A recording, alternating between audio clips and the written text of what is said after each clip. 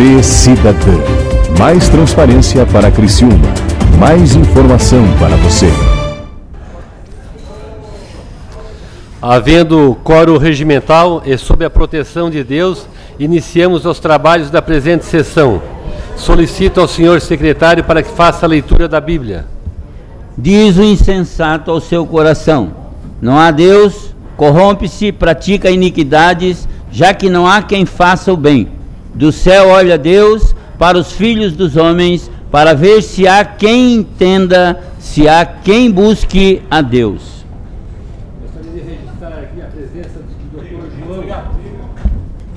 Gostaria de registrar a presença aqui do Dr. João, dentista do meu bairro, do bairro Nossa Senhora da Salete. Obrigado pela presença, amigo. Solicito agora para que faça a leitura do expediente.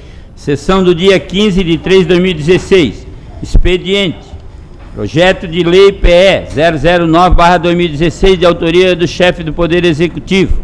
Projeto de Lei PL 007-2016, de autoria do vereador Dailton Feuser. Projeto de Lei PL 008-2016, de autoria do vereador Dailton Feuser. Requerimento 047-2016, de autoria do vereador Dailton Feuser.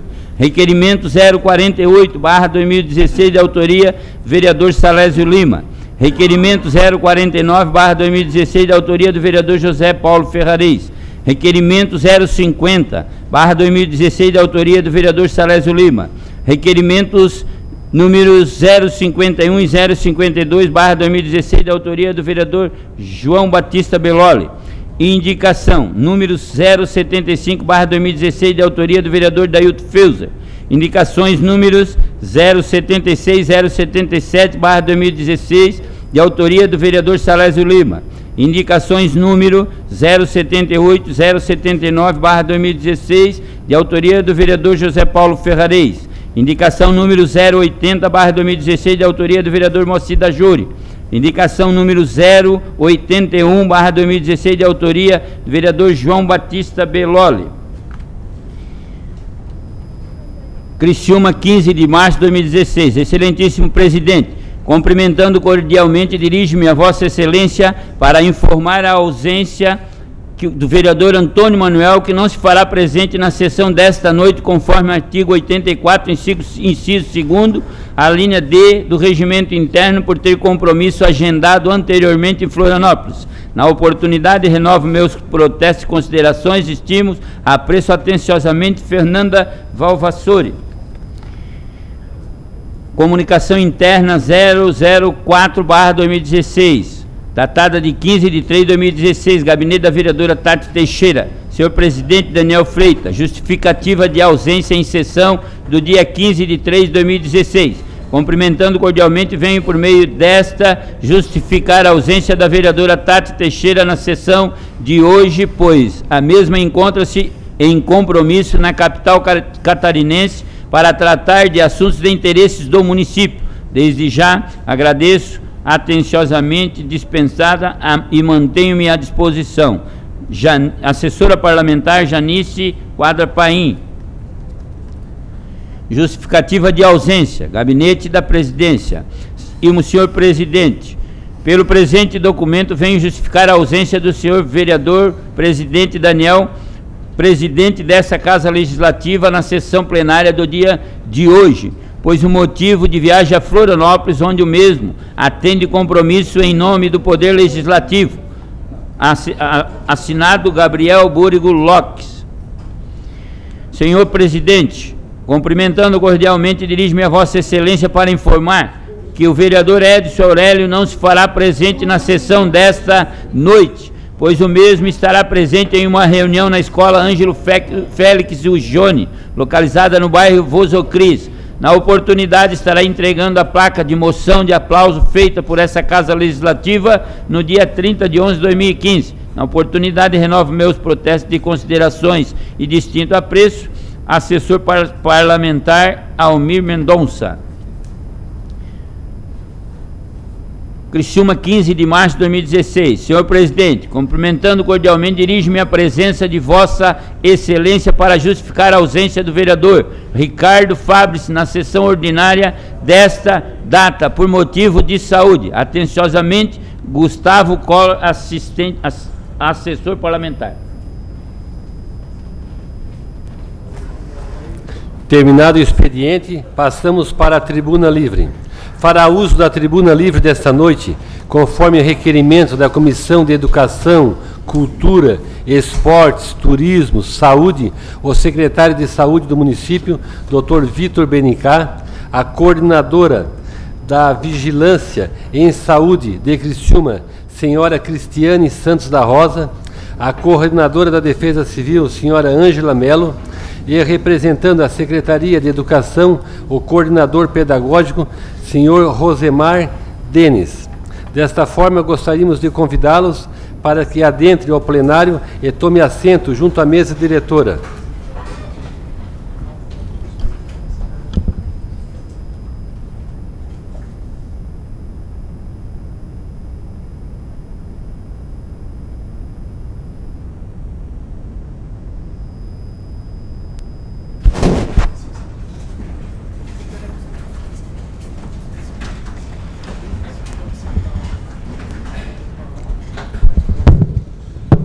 Com a palavra o Vanderlei, Vanderlei Zille, Vossa Excelência, para falar a saudação inicial em nome de, dessa casa.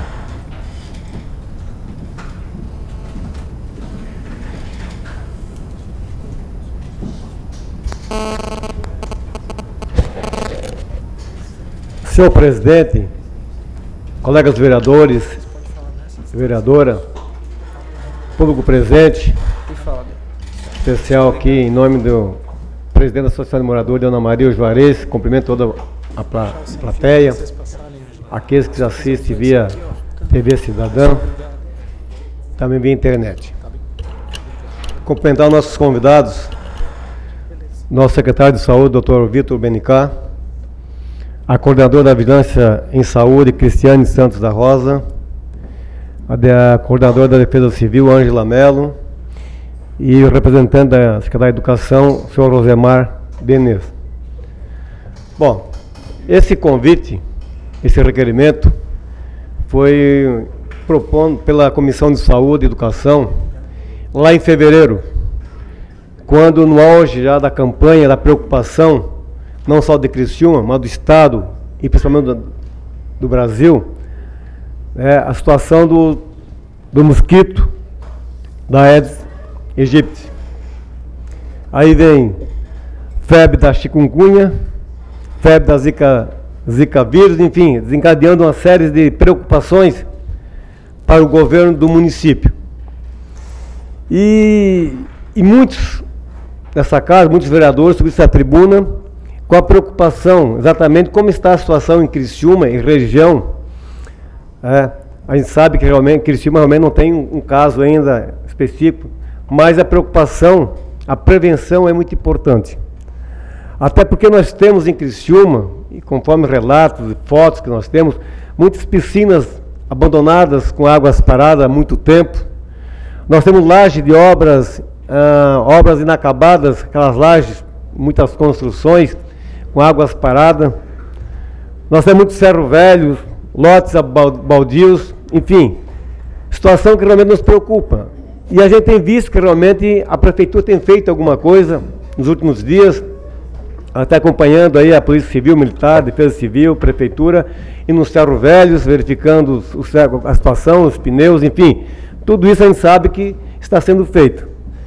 E a gente não tem assim é um, um panorâmica geral de como está a situação em Criciúma. Acreditamos que está tranquilo, mas melhor ouvindo dos nossos coordenadores, nosso secretário, para saber como é que está também, porque tem, nós encontramos por aí muitas vezes escolas né, que foi motivo de, de retardo das aulas, por motivo né, de, de também até por prestação de pulgas e, enfim, também água parada, essas coisas todas, e não dá de saúde também algumas reclamações. Então, por isso que nós convidamos aqui até foi um requerimento também do vereador Ricardo Fábio, nós incluímos então a Secretaria de Saúde, a Secretaria de Educação, a Defesa Civil e também a Vigilância em Saúde. Por isso, então, eu deixo a palavra ao nosso convidado para que depois também os vereadores possam manifestar após a falação de cada um. Obrigado, senhor presidente. Eu gostaria aqui de saudar o presidente do ABC, o Edson Paiol, e também o presidente do bairro Ana Maria, o Juarez. Forte abraço para vocês, obrigado pela presença.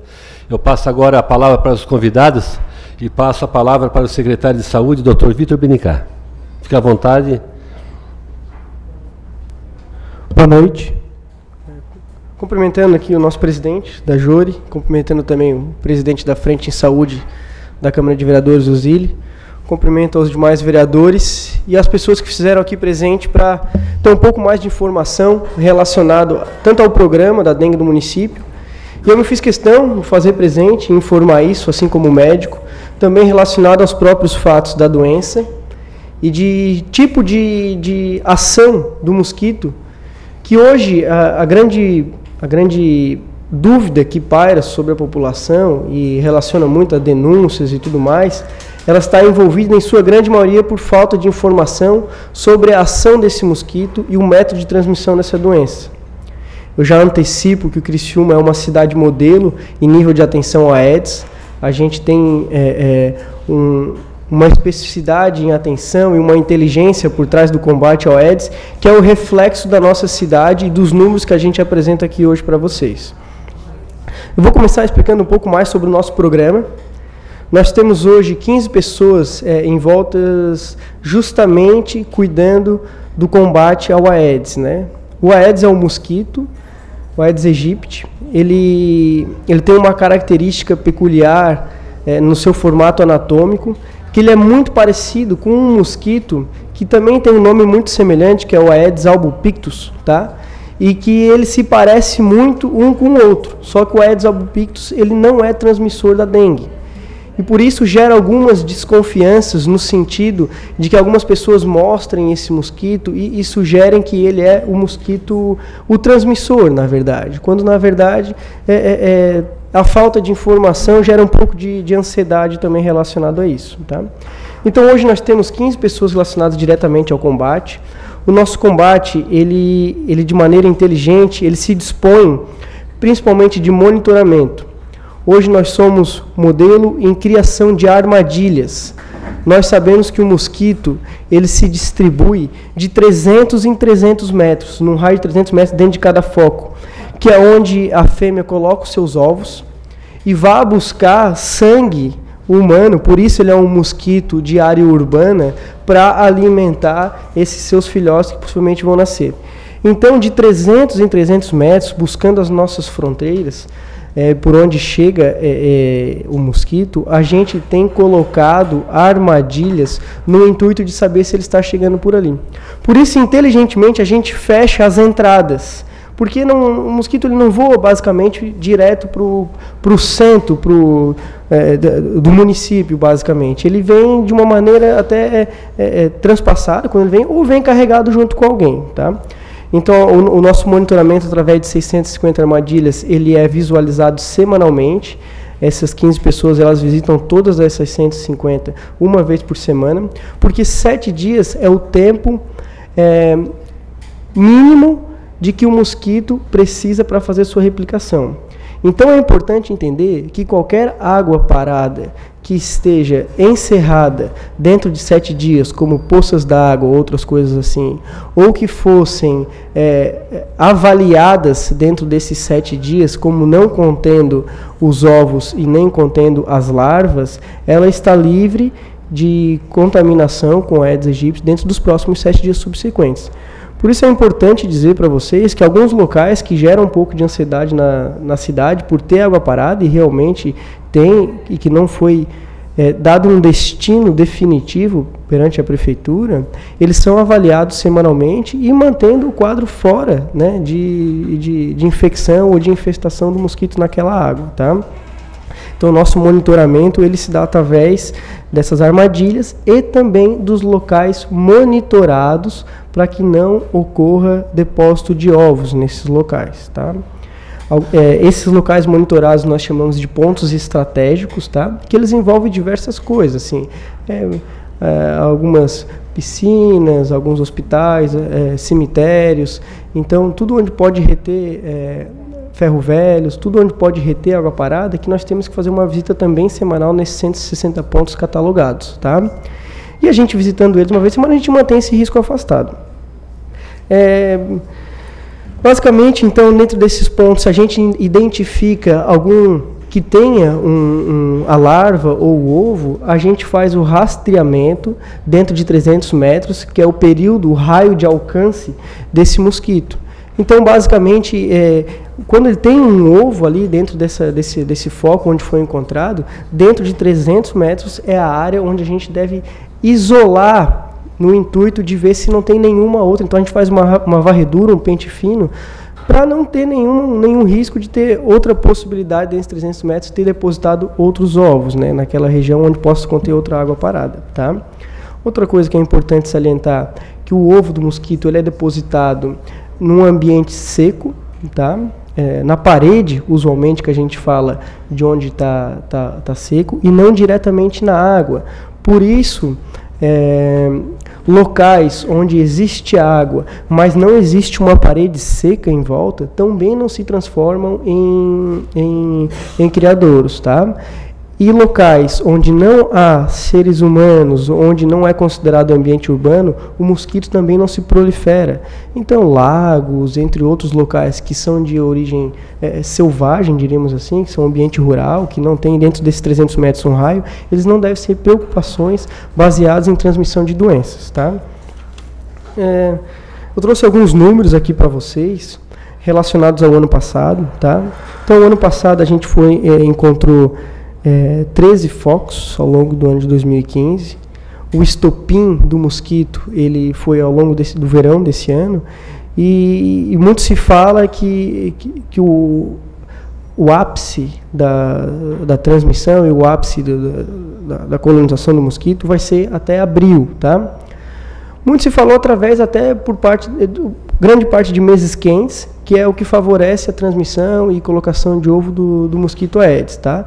Como a gente sabe e a gente espera também que o inverno ele chegue um pouco mais cedo e já está chegando, inclusive, não acreditamos que terá infestações ou que a gente precise colocar o nosso plano emergencial de coletas, no caso de a cidade estar infestada pelo mosquito ou está declarado como emergência no sentido de transmissão e doença da dengue especificadamente, a gente não vai precisar colocar como foi alguns anos atrás no sentido da influenza, tá? É porque é uma, uma doença sazonal, como nós temos as uh, vivemos no clima subtropical e temos as estações bem divididas, ele basicamente se encerra no início do inverno, tá? Dentro desse ano, que foi o ano onde o Brasil acordou relacionado ao mosquito Aedes, nós tivemos quatro focos, tá? Que foi na quarta linha, é, Centro, Vila Rica, Morro Estevão e sendo que dentro desses locais, nesses ambientes onde a gente encontrou, alguns locais, tem outros locais, além desses quatro, onde é que foram? Tá. Nesses ambientes onde a gente encontra, alguns locais tinham mais de um foco dentro das nossas armadilhas, né? Ou dentro desse, desses envoltos, assim, tá? Então, o que para nós considera como comum, que aquilo ali é, é um depósito só dentro do raio de 300 metros, tá? Então, nós avaliando a região, nós nos encontramos numa posição muito satisfatória e, e nos colocamos até como modelo de avaliação para outras cidades de mesmo porte que têm intenção em saber dos nossos êxitos, né? que são relacionados à nossa equipe de inteligência por trás da vigilância. O, Hoje nós temos uma equipe voltada especificamente para o CCZ e iniciamos com um coordenador biólogo para acelerar é, os processos de identificação do mosquito, que ele é feito só microscopicamente, não é feito a olho nu, como a gente vê em alguns, algumas mídias sociais ou algumas outras denúncias, pegando mosquitos na mão e dizendo que aquele é o mosquito parecido. Em geral, é o Aedes albopictus, que é esse outro parente do mosquito Aedes aegypti, que não transmite a dengue, mas que se assemelha e muito, e já é um mosquito antigo nosso na região, é um mosquito de, grande, de grandes tempos, que não tem repercussão clínica nesse sentido. Tá? É, no sentido, então, depois que a gente faz todos os caminhos para que não ocorra a, a, infestação desse mosquito na nossa cidade. A gente também tem todo um plano operativo no intuito de identificar os casos que são notificados através da nossa vigilância. Né? Então, quando o hospital ou a unidade de saúde ela atende, ela tem um agravo de notificação compulsória. Então, no simples é, pensar na, na doença, se o médico cogitou que possa ter relacionado o tipo de, de, de, de, sintoma com a doença, ele já aciona a vigilância e essa sim é incumbida de dar o diagnóstico definitivo ou não, somente a vigilância dá. Por isso que às vezes algum, gera alguns sustos, olha, teve um, uma dengue, um zika vírus um chikungunya em algum lugar, porque o médico ele é livre para ter as suas dúvidas, né? E acionar a vigilância e pedir até no sentido de um auxílio no diagnóstico é, dessas doenças que também são novas para nós médicos, principalmente esses que estão na ponta atendendo e recebendo a quantidade de informações que a gente vê aí na mídia, tá? Então a vigilância ela se coloca à disposição, ela vai atrás desse paciente, né? É, com o endereço, vai na casa dele, identifica se tem em volta dele, nesses 300 metros, algum risco de ter algum foco de mosquito que ele possa ser o transmissor, porque o mosquito, especificadamente, ele não transmite a doença. Somente o mosquito que pica alguém infectado, incontaminado, na fase aguda da doença, não na fase de convalescência, e depois leva essa infecção, essa mordida, né, leva para outro para outro doente. Então a gente se mantém numa, numa série muito confortável porque, primeiro de tudo, a gente não tem um vetor, nós não temos os mosquitos circulantes na nossa cidade. Segundo de tudo, nós não temos a doença. Mesmo que nós tivéssemos o um mosquito, nós não teríamos ninguém doente para o mosquito picar e levar para outra pessoa. Então a gente está bem anterior ao fato de infestação ou infecção. E é assim que a gente quer se manter, na verdade, né? É, hoje, além da própria inteligência e dos destinos que nós mesmos catalogamos para as visitas, nós também recebemos denúncias pelo 156, que é um telefone de denúncia da Prefeitura Municipal de Criciúma, onde é recebido pelo profissional lá da área e é repassado diretamente ao, à vigilância, né, ao CCZ e também por um, um aplicativo do Estado chamado Dengue SC, onde é, a pessoa entra no celular, coloca os dados necessários e chega direto por e-mail para a nossa vigilância, facilitando todas as pessoas a manterem esse tipo de denúncia. Tá? Hoje, em sua grande maioria, as denúncias elas ajudam muito, mas também tem um grande desencontro de informações, que é difícil realmente entender essa peculiaridade toda do mosquito, assim, né? Então, algumas pessoas dizem, olha, eu vejo diariamente uma água parada em tal lugar.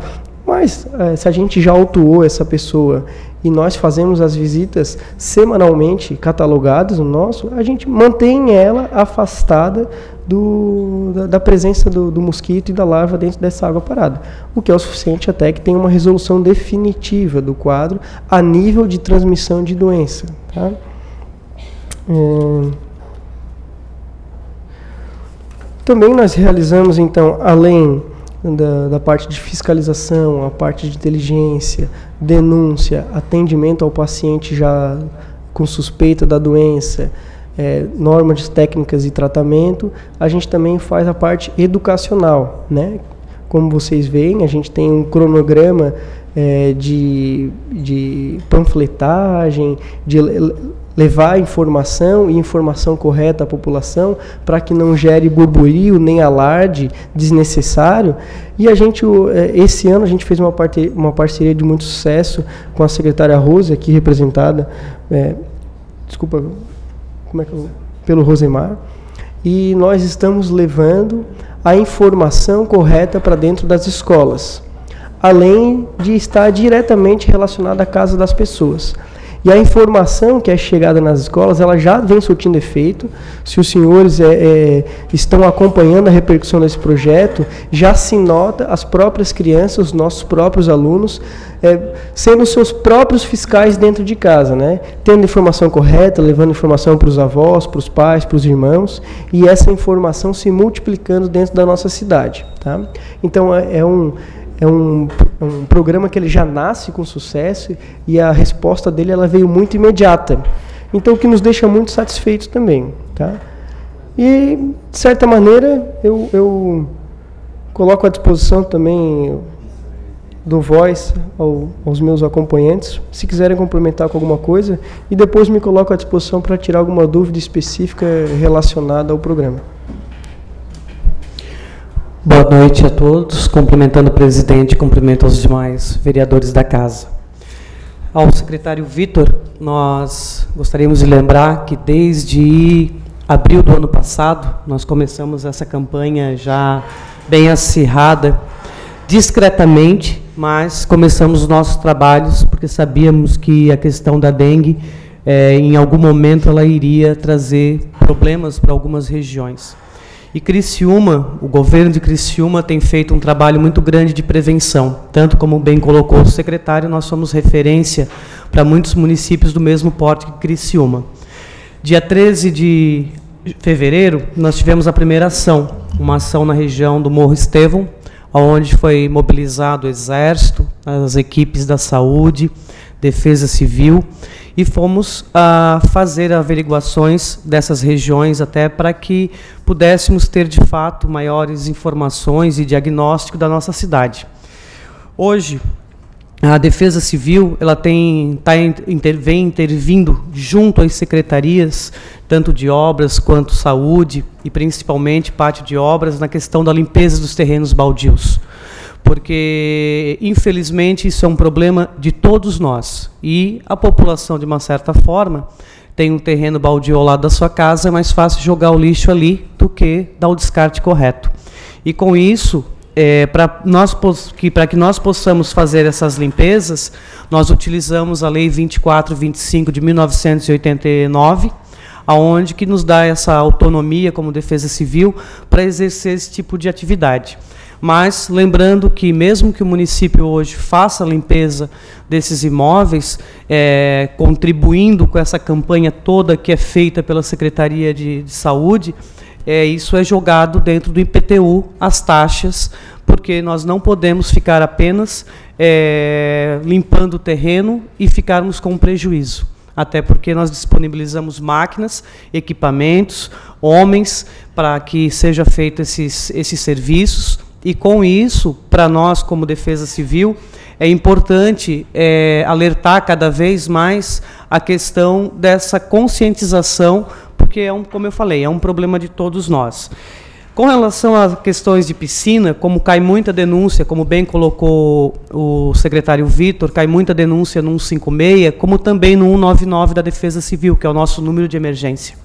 E todos os casos que vêm sido repassado para nós, nós encaminhamos a vigilância epidemiológica, a vigilância sanitária, muitas vezes acompanhamos as operações, é, juntamente, em alguns momentos, né, secretário, com a Guarda Municipal, para adentrar em alguns estabelecimentos ou residências, para que a gente possa fortalecer cada vez mais esse trabalho de prevenção no município. E também há muitas denúncias para nós hoje de coisas que são é, de uma certa maneira, um pouco exagerada de alguns moradores, de alguns cidadãos. Por exemplo, do lado da minha casa tem um terreno baldio que tem um balde cheio d'água. Se temos um balde cheio d'água, vire esse balde. Não precisa acionar os órgãos de segurança por causa de um balde. Nós temos muitas atividades e, ao longo do tempo, desde o ano passado, as ações do governo têm sido é, constante né, é, em cima desses, desses proprietários de imóveis que estão paralisados, de imóveis, é, terrenos baldios. Né? Então, nós todos devemos fazer a nossa parte. Também, no ano passado, uma das situações que nos chamou muito a atenção foi algumas edificações paralisadas de uma empresa aqui da cidade, é, e com isso ocasionando água sobre a, o subsolo dessas garagens, como também a questão das bandejas suspensas, os andaimes cada vez mais é, enferrujados, trazendo risco para a população. E nós, diante de todo esse cenário que nós estamos passando hoje de prevenção, a Defesa Civil tratou de relatar todas as 15 edificações que estavam de fato paralisadas, para que pudéssemos fazer é, tomadas de medidas para que acabe com os problemas. Toda ação não quer dizer que nós vamos acabar com o mosquito. nós não vamos acabar com o mosquito, mas nós vamos manter o controle e fazer com que Criciúma continue sendo referência nessas ações é, diante de algo que alguns municípios já perderam, é, já perderam esse controle. Coloco que a, a Cris ou Rosemar que queiram fazer alguma colocação e me coloco à disposição de vocês.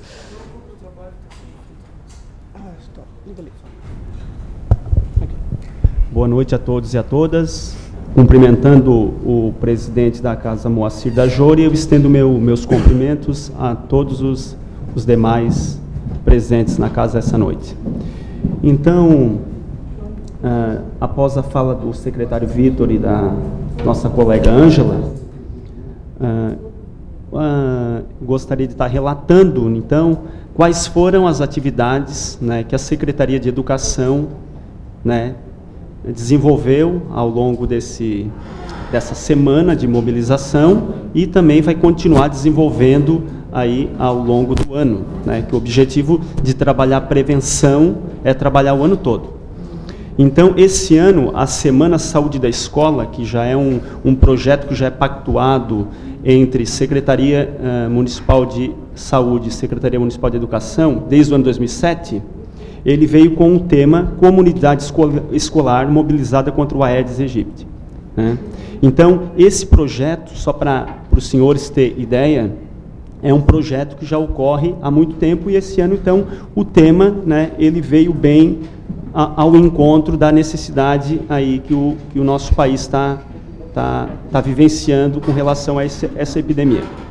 Então, eu vou passar alguns slides aqui atrás, só para vocês terem ideia de como né, foi organizado esse trabalho pela Secretaria de Saúde em parceria com a Secretaria de Educação. Então, a Semana Saúde da Escola, ela teve início no dia 7 de março e encerrou no dia 11 de março. Mas, como eu falei, o objetivo da semana foi só né, abrir os trabalhos, né, uh, desenvolvendo essas ações relacionadas ao tema. Né? Essas ações de educação na escola elas vão continuar ao longo do ano todo.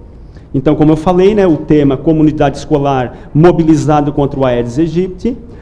Houve, então, uma capacitação né, com o objetivo então, de sensibilizar os gestores né, das escolas da rede municipal de Criciúma, que são 72 unidades escolares.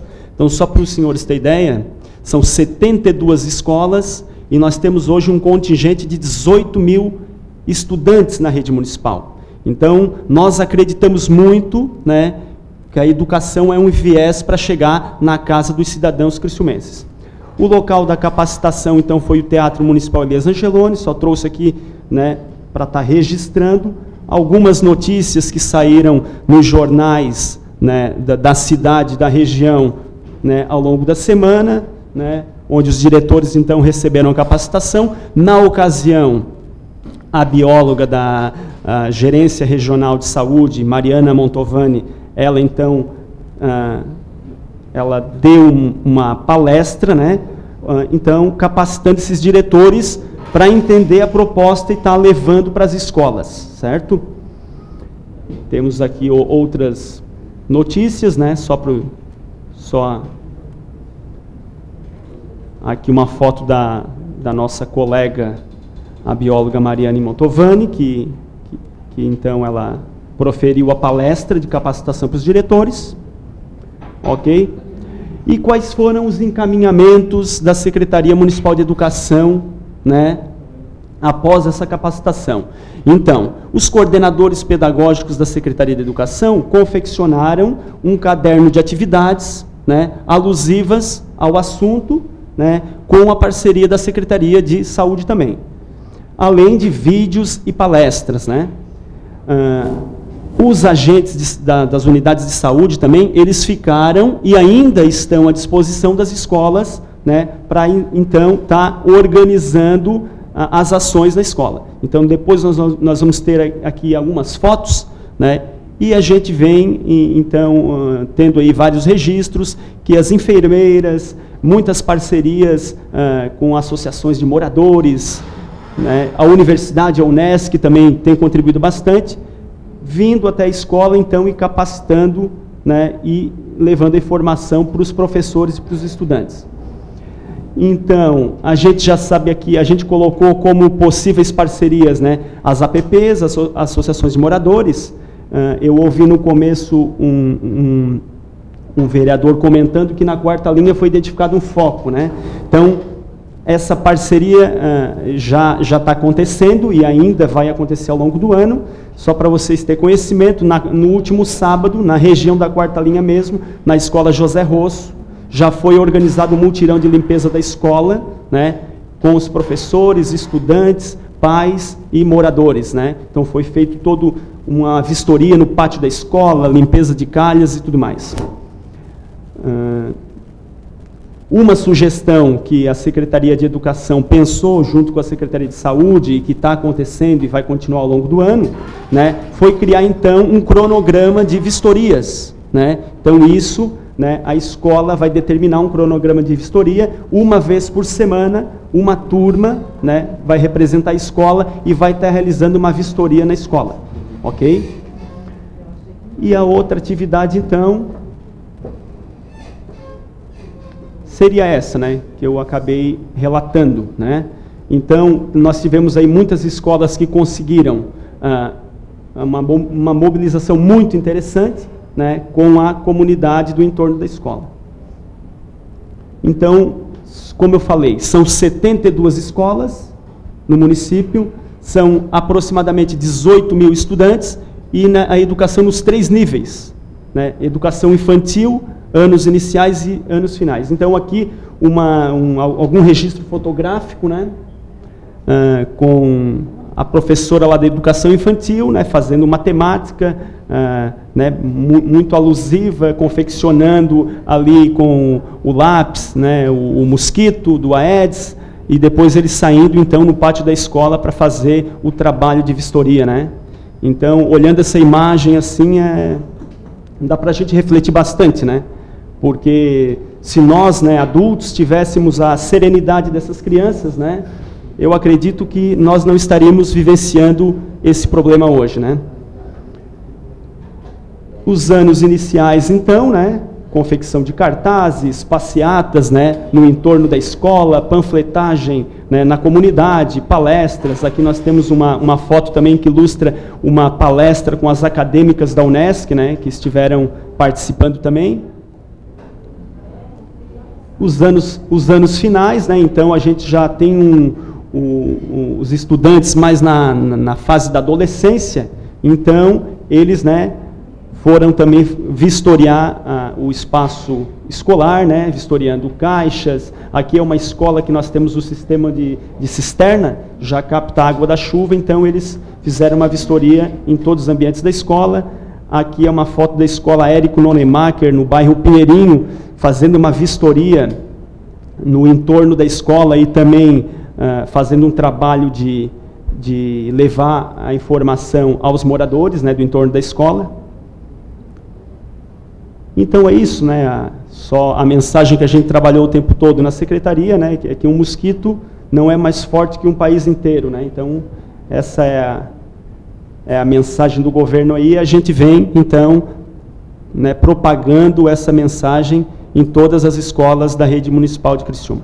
Me coloco à disposição para quaisquer dúvidas aí. Muito obrigado.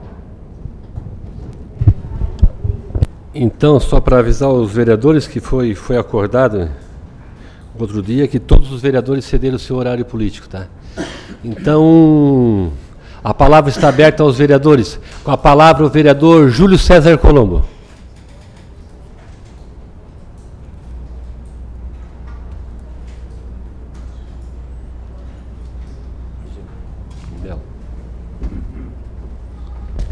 Senhor presidente, membros da mesa, nobres vereadoras e vereadores, público presente, público que nos assiste pela internet, pela TV Cidadã.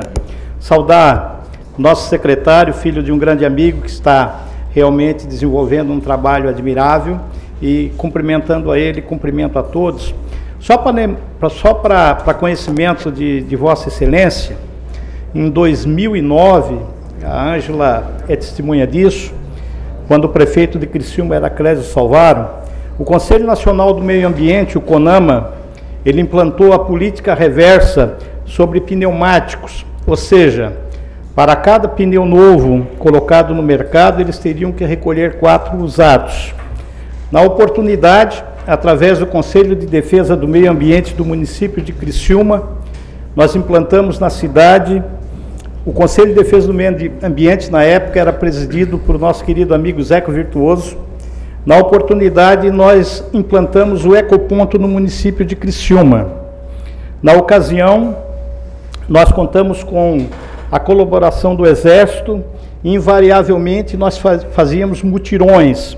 Nós tiramos cerca de 5 mil pneus ali da antiga Secrisa, tiramos em torno de 2 a 3 mil pneus lá na antiga CC. Enfim, esses próprios pneus serviam depois para fazer as armadilhas da, da vigilância sanitária. Criamos também, na oportunidade, uh, local apropriado para descarte de TVs velhas, computadores. Então, a política do município de Criciúma e há muito vem colaborando para isso.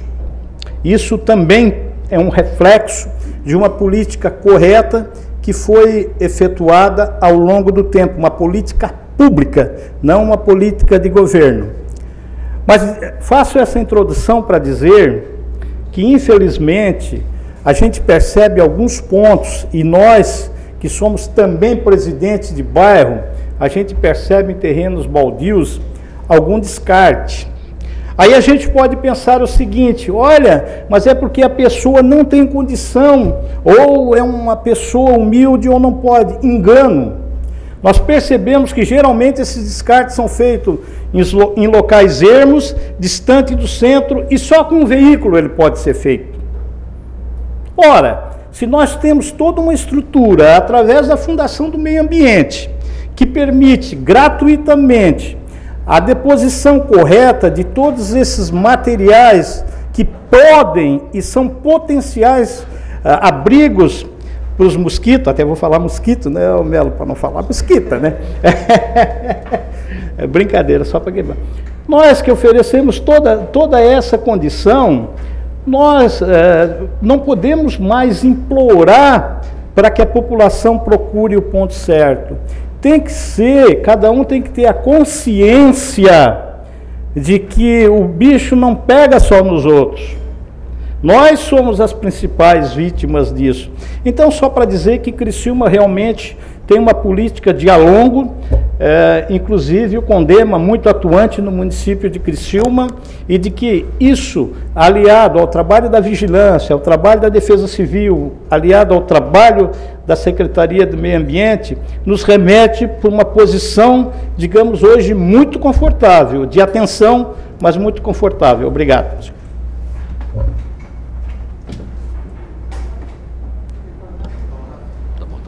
Com a palavra o vereador João Batista Belloli.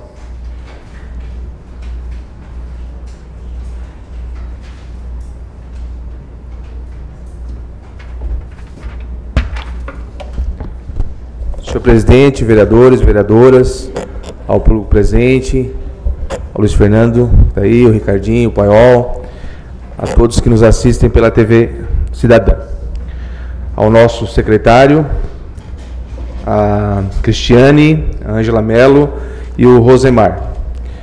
É, eu só primeiro gostaria de saber, é, o, o Rosemar ele acabou de falar que esse, esse trabalho já vinha sendo feito nas escolas, mas eu não, não tenho essa recordação que, que algum, pelo menos eu não, não tenho, é, não chegou a mim, é, que já teria sido feito esse trabalho de prevenção à AIDS ah, nas escolas. É, eu fiz um requerimento nessa casa também, solicitando uh, fazer esse trabalho na, nas escolas, mas o Luiz Fernando já falou para mim na hora: olha, esse trabalho nós já estamos fazendo na secretaria. Eu dei o parabéns para ele, porque vocês estão lá na frente. Então, quero parabenizar aí o secretário pelo trabalho que ele vem fazendo, com uma visão ampla, já sabendo que isso dá resultado mesmo. Dá resultado porque eu tenho uma filha que, que estuda lá no colégio da primeira linha, que tem 4 anos de idade, e ela chegou em casa falando exatamente o que a professora falou para ela. É da latinha, é que não pode ter água parada, então chega na ponta, esse é um trabalho muito importante que é feito nas escolas. Bom, outra, outra situação que eu falei, até eu fiz um requerimento nessa casa hoje, secretário, solicitando, em virtude que aconteceu lá o foco de dengue lá na quarta linha, quando se fala de foco, é, não, não exatamente são a quantidade de larvas que tem, né? É, parece que lá na quarta linha tinha, teve mais de 15 larvas, não sei se foi, foi isso, né? Mais de 15 larvas, então, é, num foco, apenas em um foco. Então, a minha preocupação, é como já foi feito lá no bairro Moestevo, é, através desse requerimento, até vou entregar em suas mãos, porque o requerimento tem 30 dias para responder, isso aí vai demorar e vai, vai chegar o inverno e não vai ser feito mutirão. Mas então eu faço solicitação ao secretário aqui, que juntamente com as outras forças, com a Defesa Civil, com a Prefeitura Municipal, que se faça o mutirão no bairro Quarta Linha. Você explicou muito bem, que é o raio, que é, que é, que é feito o monitoramento, mas eu acho que é importante fazer esse mutirão. Lá se já tem foco, pode ter foco em outros locais ah, fora desse raio de 300 metros. Então fica aqui o meu pedido ao secretário que vem trabalhando, ah, quero te elogiar. Às vezes eu elogio aqui, às vezes que eu sou da base, não sou da base, mas quando tem um trabalho bom, a gente tem que elogiar. Então, eu não tenho medo nenhum de vir aqui te elogiar, secretário, pelo trabalho que tu vem fazendo na cidade de Criciúma sei que tu não vais resolver tudo, mas o trabalho que estás fazendo já é significativo e a população está olhando isso. Então, é, o Feus ele já dá a risadinha porque ele, ele ah, tu fica puxando, não. Eu acho que a gente tem que falar, acho que não tem partido, não tem oposição, situação quando a pessoa faz um bom trabalho. Então, eu não tenho medo de vir aqui e elogiar o secretário. Então, eu vou te entregar em mão, secretário, esse requerimento, nem vou discutir depois, porque já aproveitei a oportunidade, que repense e de repente faça esse mutirão lá no bairro Quarta Linha.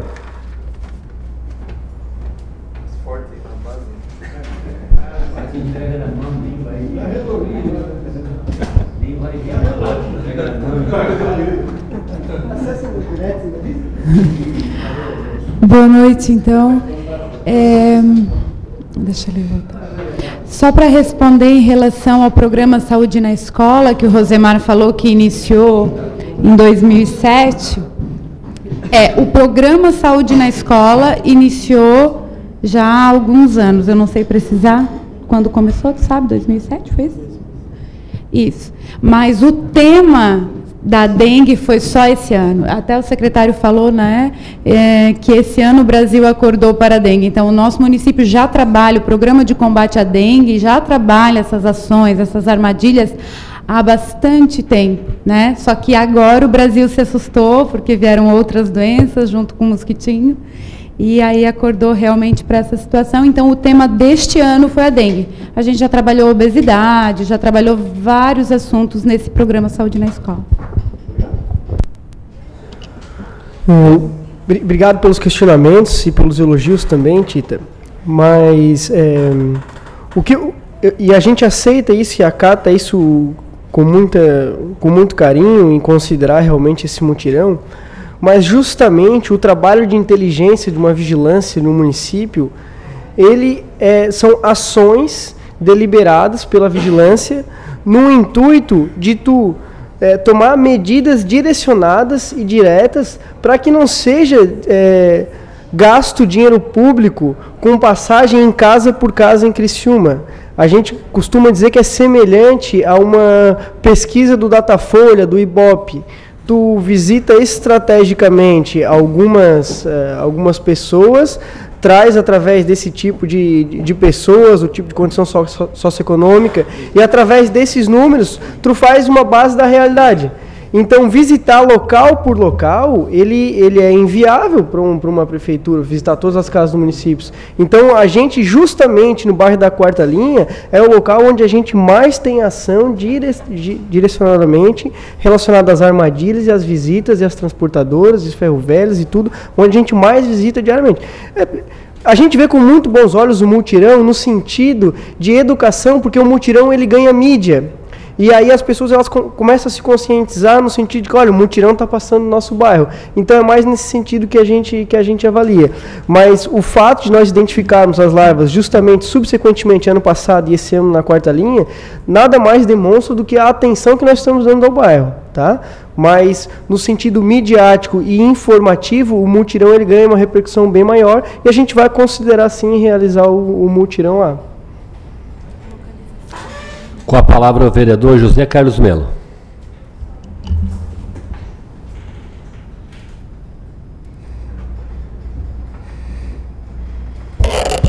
Senhor presidente, demais membros da mesa, senhores vereadores, público nos assiste, boa noite a todos.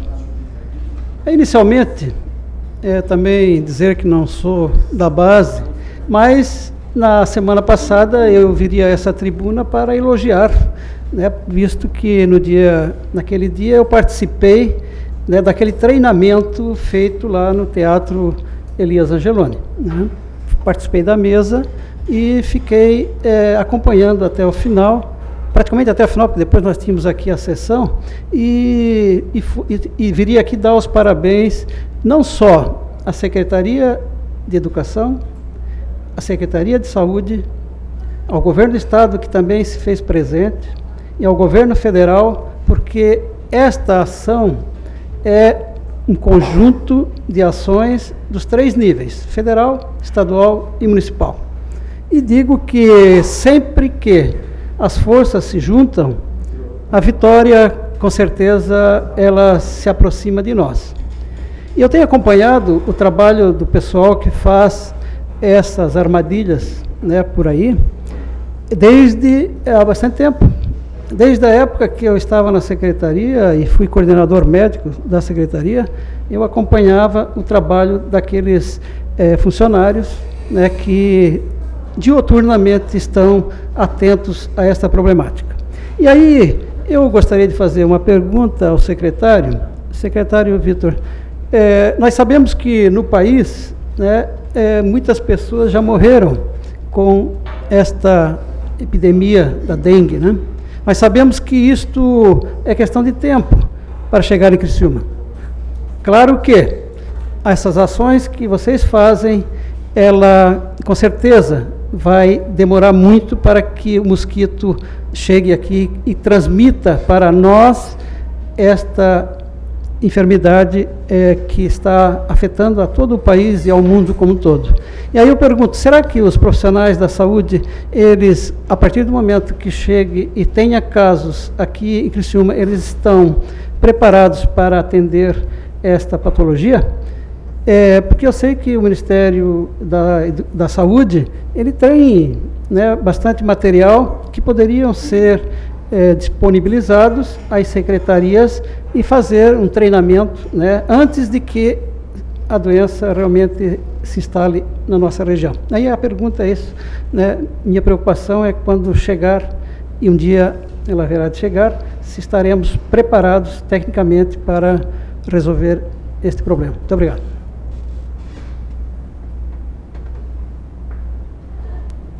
Doutor Melo, obrigado pelo questionamento também. E essa é uma pauta que eu até então esqueci de falar durante a minha, a minha declaração. É, hoje nós temos três portas de entrada, basicamente em nível de emergencial no, no município, além de 55 outras unidades de saúde. Nós já treinamos todos os médicos do município, independente de vir material ou não a parte da unidade básica, quem treinou foi particularmente eu, da parte médica, e da parte biológica, nesse sentido de, de comportamento do mosquito, foi feito pelo biólogo da Regional de Saúde, o Tiago. Tá? Foi feito numa capacitação que foi dentro da Secretaria de Saúde, no nosso auditório no Sereste, onde os médicos, eles compareceram, os médicos e também a equipe de enfermagem, foi feito um treinamento também voltado para o atendimento de enfermagem.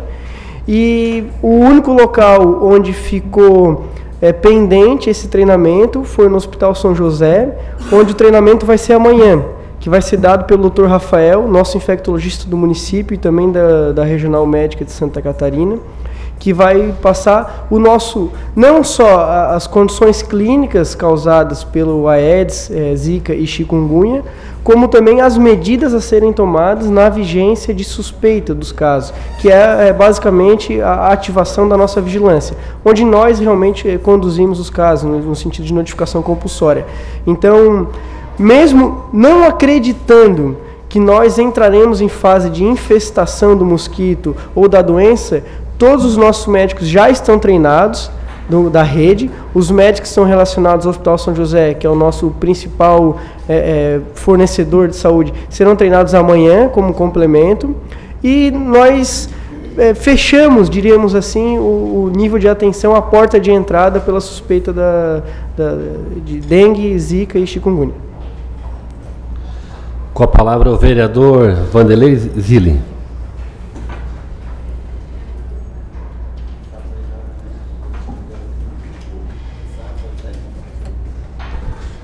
Senhor presidente, demais vereadores, público presente.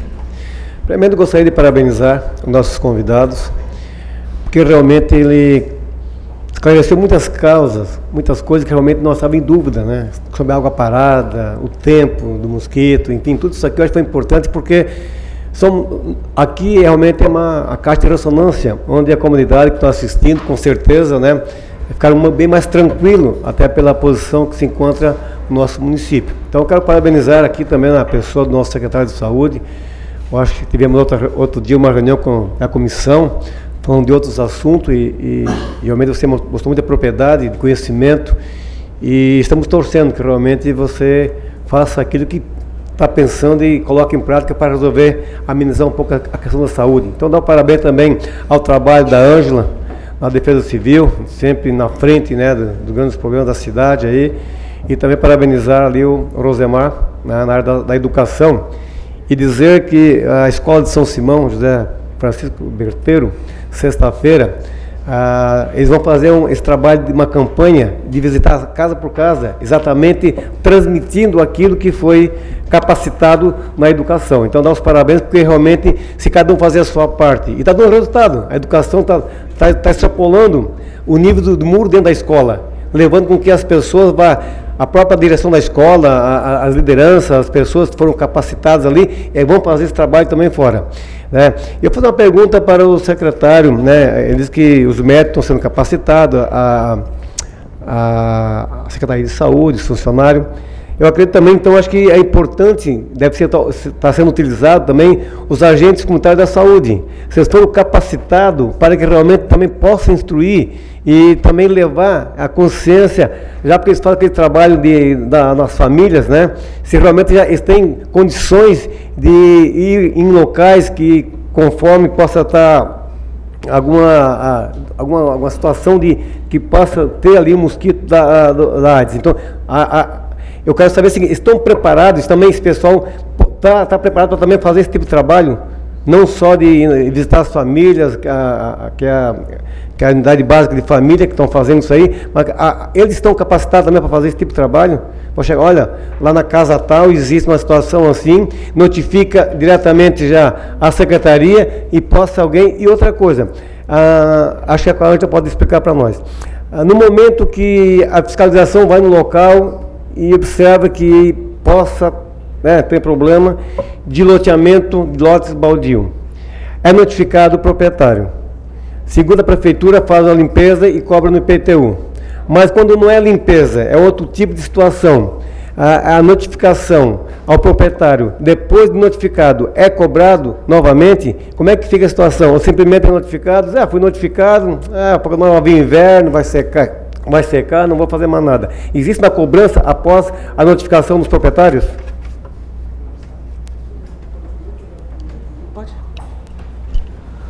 Vereador Zilli, eu, eu agradeço os questionamentos também. Eu vou começar falando da parte que me coube ali relacionada aos agentes comunitários, né?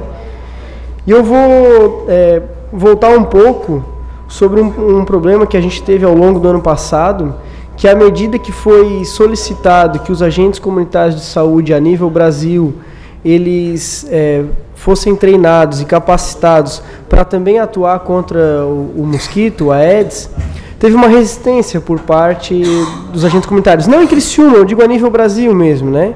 E no ano passado mesmo, é, é, houve um decreto ministerial mesmo de que os agentes de saúde, além das suas atribuições relacionadas à pesquisa de família e tudo mais, eles também têm em suas atribuições a, a, o combate ao Aedes aegypti e, e, e aos focos em geral, né? Dessa maneira, o Estado ele disponibilizou através do EFUS, que é uma organização de ensino e saúde pública, a gente treinou os nossos agentes comunitários, tá? Eles estão habilitados e capacitados a estar entrando nas casas com nível de conhecimento suficiente para identificar e para levar informação para dentro das casas.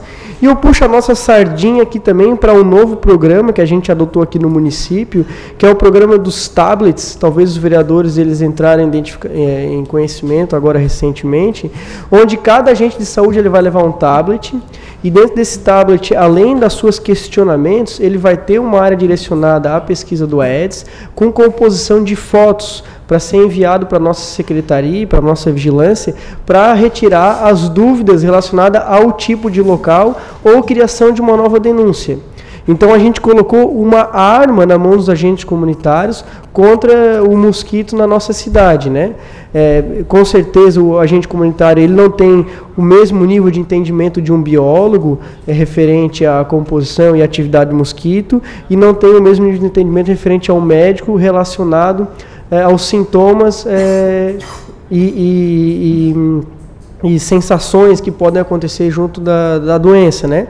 Mas ele está com uma atividade, com, com um tablet que ele vai poder demarcar, botar foto, registrar, levar para dentro da unidade. A unidade ela vai estar tá já sincronizada com o wireless, onde vai ser automaticamente repassado para a nossa vigilância e poder tirar essa dúvida em, no mesmo momento. Tá? Com relação aos terrenos, a partir do momento que chega a denúncia pelo 156 ou 199, é, nós encaminhamos ao DPFT, que aí sim a fiscalização vai a esse lote, localiza, e a partir do momento que tem nos dados cadastrais o telefone do proprietário, o endereço de correspondência, é feita a notificação encaminhada a essa pessoa aonde ela tem um prazo de 15 dias para cumprir aquilo que foi determinado. Caso não, não seja cumprido, aí sim nós vamos intervir, né? a Defesa Civil entra em contato com esse proprietário e pede para que ele execute sob pena de ser encaminhado aos órgãos é, é, judiciais para poder fazer com que ele cumpra de fato aquilo que o município está solicitando. Mas também tem situações que, quando é feita a notificação encaminhada via correio, muitas vezes acaba voltando, porque não se localiza o proprietário. Aí tentamos de todas as maneiras fazer essa localização e não houve sucesso, aí a Defesa Civil trata de fazer essa limpeza. Tanto que de, do ano passado até a semana passada, nós tivemos praticamente 46 terrenos notificados e autorizados por nós para fazer a limpeza, porque estava trazendo problema para a população. Inclusive, antes de chegar até a Câmara de Vereadores, eu estava numa ligação com uma senhora que está com um problema de um terreno desse e amanhã será medida é, drástica né, para tentar solucionar o problema dela, porque é ratazana, é lagartos e tantos outros animais peçonhentos que está afetando a família dela. Com a palavra o vereador Salésio Lima.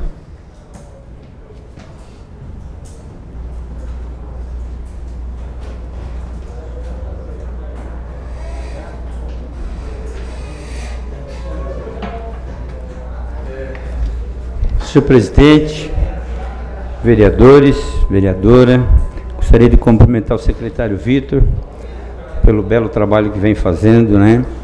Cristiane, a Ângela, e o Rosemar. Cumprimentar também os demais que nos acompanham nessa noite, nessa sessão.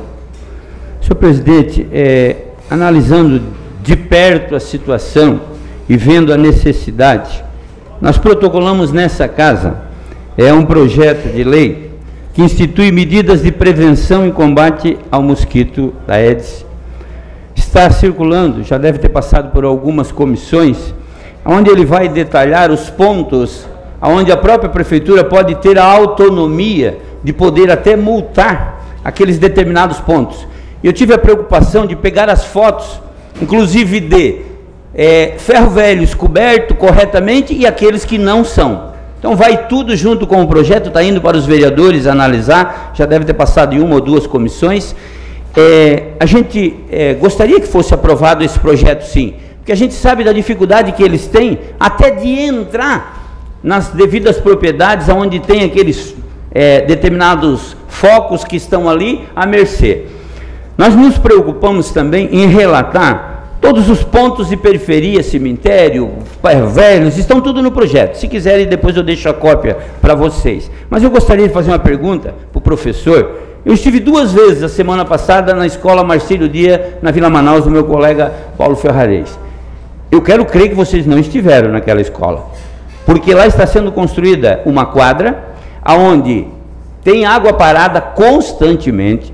Eu procurei o Beto Barata, eu procurei a secretária de Educação, a Rose, e ela me garantiu que estaria. Sexta-feira eu estive de novo na escola, não tinha sido feito nada lá. Eu quero crer que vocês não estiveram lá. Eu pediria que vocês vão até o local então, e que averiguem o local, Ângela, e que tomem as devidas providências, porque está dentro de um patrimônio público e está correndo um risco sério, certo? E também, é, nós temos então, se, secretário, se tiver esse incidente, tomara que não tenha, nós teremos os medicamentos corretos para combater tudo isso? É uma pergunta. E, e, esse projeto, por isso, esse projeto vem de encontro, né? Para que eu possa, então, através da lei, os órgãos competentes de vigilância, é, é, todos possam chegar e é, notificar os devidos proprietários. Mas fica aqui também um alerta, né? Ao nosso passo municipal. Nós temos várias áreas públicas que estão dando mau exemplo. Hoje mesmo, a Praça da Próspera, eu fui lá fotografar, realmente o mato está enorme, com lixo jogado às traças. Estou mandando um requerimento hoje. Então, assim, ó, nós precisamos ter cuidado. Claro que temos, mas nós temos que fazer a nossa parte, como foi dito aqui. Se tiver que virar o balde, vamos virar. Certo? Obrigado. Obrigado, vereador Salésio. E até mesmo em algumas unidades de saúde, no projeto delas contemplava uma vala que ela eh, era acúmulo de água parada. Então, olhando primeiro para o próprio umbigo, a Secretaria de Saúde ela construiu uma tampa e, e, e vem construindo ainda também, né, no sentido de eliminar é, essas questões na, na, na, nossa, no nosso umbigo, diríamos assim. Né? Então, isso aí a gente já está pegando em partes por partes. assim. Quanto o, o outro questionamento era referente ao plano de urgência, a gente tem um plano de urgência baseado exclusivamente a um método de, tri, de triagem tá, sobre gravidade e a doença ela é classificada em quatro níveis, assim, no caso de uma infestação da doença aqui na cidade. Esse plano ele foi desenhado é, utilizando cidades onde já passaram por isso, então a gente tem uma experiência através de outros locais. E as medicações específicas, vereador, elas não estão. Não existe uma medicação específica relacionada à dengue. O tratamento ele é basicamente hum, conservador e no sentido de esperar o próprio ciclo viral na pessoa ele se, ele se encerrar. Então o que a gente faz é um suporte, um suporte hídrico com capacitação de soro, medicamentos no controle de temperatura, mas não existe no caso um antibiótico, alguma coisa relacionada a isso. O tratamento ele é só suporte. E esse é um dos motivos que é tão grave, na verdade, é, a, a, doença, né? Porque ela não existe uma cura específica. Ela basicamente a gente depende do sistema imune do hospedeiro, no caso nós homens, ele está apto o suficiente para combater diretamente o vírus, tá? É, mas nós temos sim, e delimitados por área da cidade, onde nós construiríamos é, é, piquetes assim, né? Onde a gente poderia estar tá fazendo a triagem ali, é, a gente já tem um orçamento de, do, dos testes rápidos para diagnóstico de dengue. É, hoje a gente não tem, até porque a gente nem tem a doença na nossa região. E no caso fosse eu, é, de, declarado infestado a nossa cidade, no intuito de fazer uma ação rápida em classificar nessas quatro eleições da doença e também diagnosticar precocemente no intuito de isolar esse paciente para que ele não vire um foco para o mosquito transferir para outra pessoa também. A gente espera não usar esse plano e a gente tem plenas convicções de ele não, que ele não vai ser colocado em prática, assim, mas está tá prontinho também. Isso é uma das solicitações também do Estado, assim, né, que esteja tudo pronto durante é, ao iniciar o verão, assim, no caso aqui no, no Sul. E com relação à unidade escolar, eu assumo o compromisso aqui com o vereador de amanhã, juntamente com o Rosemar, e a Cristiane da Vigilância, em loco averiguar essa situação e tomar as medidas cabíveis para a gente sanar esse problema. Até, inclusive, vereador, na sexta-feira passada, não foi divulgado antecipadamente, até para não prejudicar as nossas ações, uma força-tarefa perante os ferro velhos, né, foram dois, dois objetivos. Um, coibir a questão da venda, da compra do cobre, né, do furto, e outro foi envolvendo a Secretaria da, da Saúde e a Defesa Civil na parte da, dessa vigilância de dengue, né? Então todo um trabalho desenvolvido ao longo de todo o dia de sexta-feira, aonde as equipes da Secretaria de Saúde, da Defesa Civil e outras secretarias que estavam envolvidas naquele processo, trabalhamos em cima para averiguar de fato esse, essa questão que o senhor nos colocou. Algumas delas já estão se regularizando, até porque a própria vigilância né, sanitária já esteve é, notificando é, muito desses ferro velhos que precisam se adequar à legislação, e com isso é, temos que frisar que nós não vamos acabar com o problema nós vamos amenizar o problema, porque sabemos aqui que Criciúma é, existem várias transportadoras, nós temos aí a, a, rodoviária em plena região central, mas todo o cerco necessário para proteger e ter um controle do problema, isso está sendo feito por Criciúma. Né? E tanto que nós, em reunião é, com o Exército, né, o secretário é, é, esteve também presente, nós nos colocamos à disposição para outros municípios vizinhos seguir ou auxiliá-los né, naquele conhecimento que as nossas equipes têm para tentar evitar que o problema se alastre nos outros municípios, porque são muito próximos de nós. Né? Então, com relação a esse cenário todo, Criciúma realmente vem trabalhando muito com a prevenção e vamos continuar trabalhando. E amanhã eu me comprometo em estar nessa escola e averiguar essa situação. Escrito pela ordem, vereador Moacir da Jori. Quer falar, Cris? Depois tu fala, depois tu fala.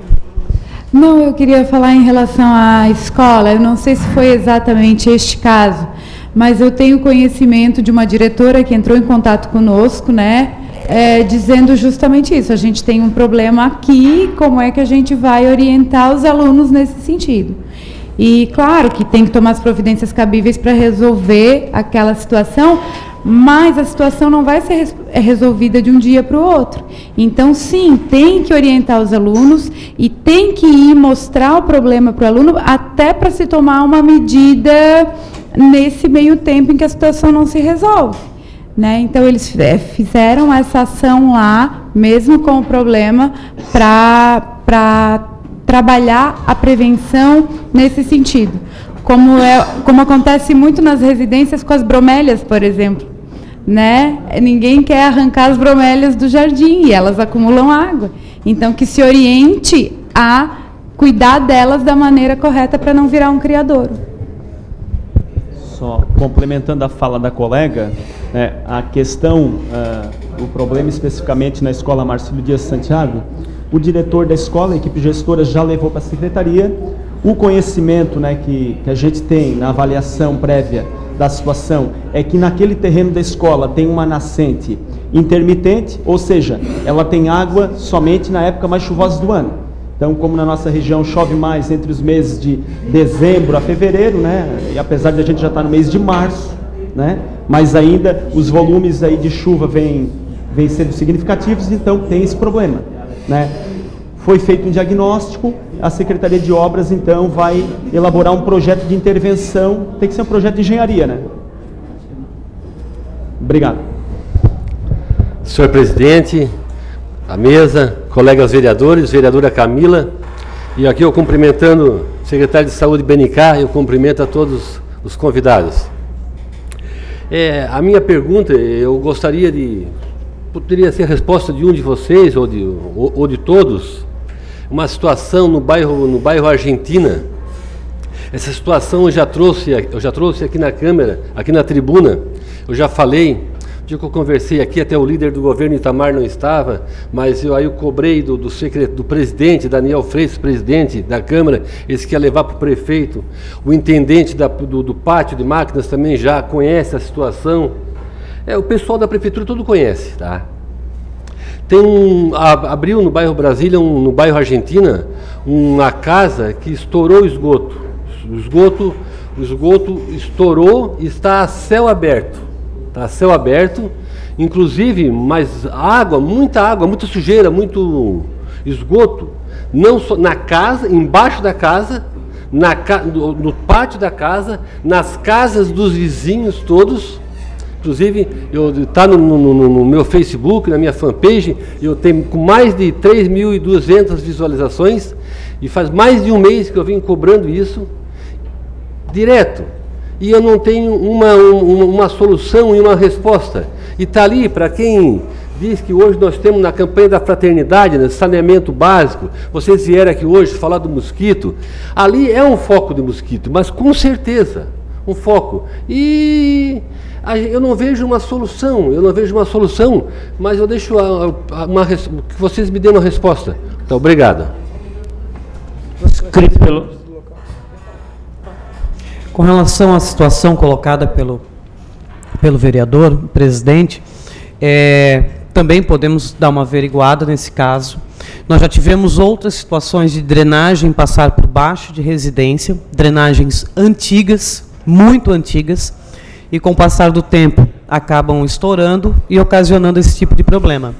Nós, através da Secretaria de Obras, levamos um engenheiro para fazer o desvio dessa drenagem, porque por ser uma drenagem antiga, ela passa no loteamento ainda particular, nós tiramos ela da parte do, desse terreno e fazemos o desvio dela pela via pública. E aí sim, é, tentar solucionar o caso, até porque, como eu falei, são drenagens muito antigas, acabam com o tempo, o solo movimenta o normal, normalmente, e com esse movimento acaba a drenagem se rompendo, né? Ou do próprio encaixe, ou talvez uma viga que é, é, perfurou a própria, o próprio sistema, mas para isso a gente pode fazer o quê? Falar com a Secretaria de Obras e em loco, averiguar com o próprio FUNSAB se é uma, que tipo de drenagem é essa e sim trazer uma solução para a situação. Eu, eu tomo como, como complemento, presidente, no sentido de que hum, o problema, basicamente, do mosquito, ele não é água parada. O problema é água parada esquecida, né?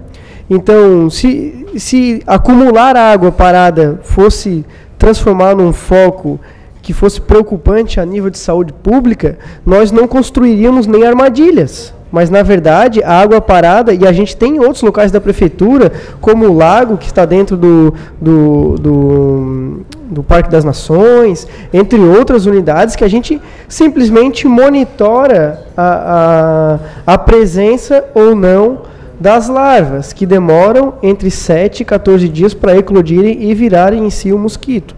Então, uma água que ela é conhecida ela, ela deixa de virar um problema vetorial e sim ela deixa, ela vira um problema de acompanhamento, né? E se porventura tiver algum depósito naquele local, a gente tem que fazer a limpeza dos ovos e das larvas antes que elas se eclodam e formem realmente um mosquito.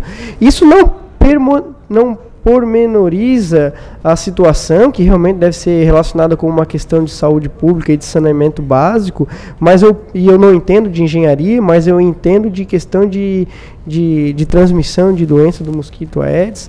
E, e essa água ela sendo avaliada pela secretaria semanalmente até que se até que os outros órgãos competentes resolvam isso é o suficiente para que não se transforme num criadouro Secretária, é só que até agora não teve acompanhamento nenhum, tá? Mas eu passei o endereço para a Ângela, né, e a Ângela se, se, comprometeu então de passar lá, né, Ângela, e ver isso aí. Tem o Miri D'Agostin, que é o intendente do pátio de máquinas, ele está bem por dentro do assunto, ele conhece o local e a casa lá. Não, com certeza. Amanhã eu já. Essas duas situações eu vou em loco fazer averiguação com as pessoas responsáveis dos setores para averiguar e dar uma resposta ao senhor. Agradeço, Anjo, agradeço ao secretário. Com a palavra agora o vereador José Paulo Ferrarese.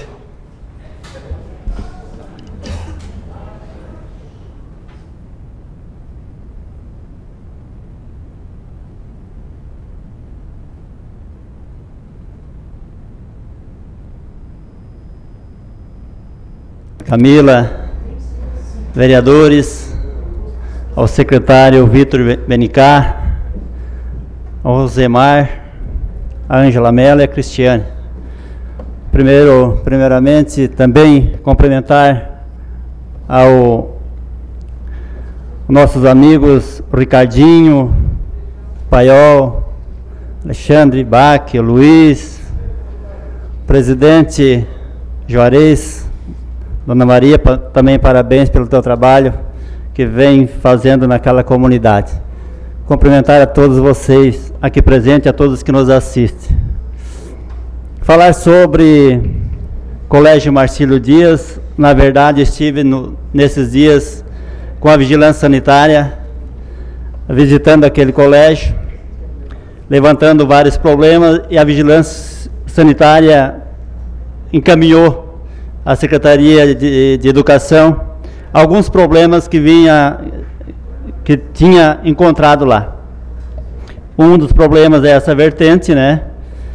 Que a Secretaria de Educação solicitou à Secretaria de Obras, que também tiveram lá no mesmo dia, acompanhei, secretário André De Luca e o engenheiro Beto Barata, uh, solicitou um encaminhamento rápido, o mais rápido possível, com a empresa que irá executar a cobertura da quadra, para que a mesma canalize aquela vertente e também resolva alguns problemas uh, que hoje está sendo ocasionado pelaquela água, às vezes um pouco parada, outras, ou um, uma parte também caindo na, na parte do muro, né, e, e na parte da estrada, mas esse é o compromisso da Secretaria de Obras, Secretaria de Educação.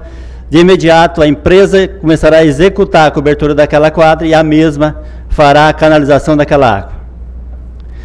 Falando sobre a prevenção do, do mosquito, eu gostaria de fazer uma pergunta ao secretário e à secretária de Educação também. Eu visitei o Ecoponto e, e quero dar os parabéns pelo trabalho lá que o Ecoponto faz, uh, recebendo o descarte de pneus, de, de imóveis inservíveis, de televisão, de computador, lâmpadas, pilhas. E eu gostaria de perguntar, secretário, tanto para a Secretaria de, de Educação, se os alunos, se os diretores foram preparados né, né, nesse dia de, pre, de preparação, de informação, se o ecoponto é o local ah, para descarte de pneus, tanto as agentes comunitárias também se estão se tem esse conhecimento nas visitas que elas fazem casa a casa, na comunidade, ah, ah, comunicando às famílias que lá tem um descarte que possa levar esse material que muita gente, eu tenho certeza que alguns vereadores daqui, eu visitei esses dias atrás, às vezes não conhecem o Ecoponto, quanto toda a sociedade, tem pessoas que trabalham no município e não conhecem o Ecoponto, e olha a importância de nós ter um local para descartar esse material. Quantos sofás que nós vimos na rua, jogados nas beiras das estradas, quantos roupeiros, então é importante, pneus, e também, ó, olha o volume de pneus que foram foram deixados de receber naqueles dias que eu estava lá, porque o volume era muito grande, foram dispensados 40 borracheiros da cidade que retornassem com os pneus, voltassem na próxima semana porque não tinha mais espaço. Mas naquela semana também viria uma carreta, tinha um caminhão carregando e no dia seguinte viria uma carreta para coletar esses pneus. E olha quanto é importante. Então é importante que ah, as crianças, diretores, professores e as, as agentes comunitárias tenham preparado para esses encaminhamentos desses materiais. Obrigado.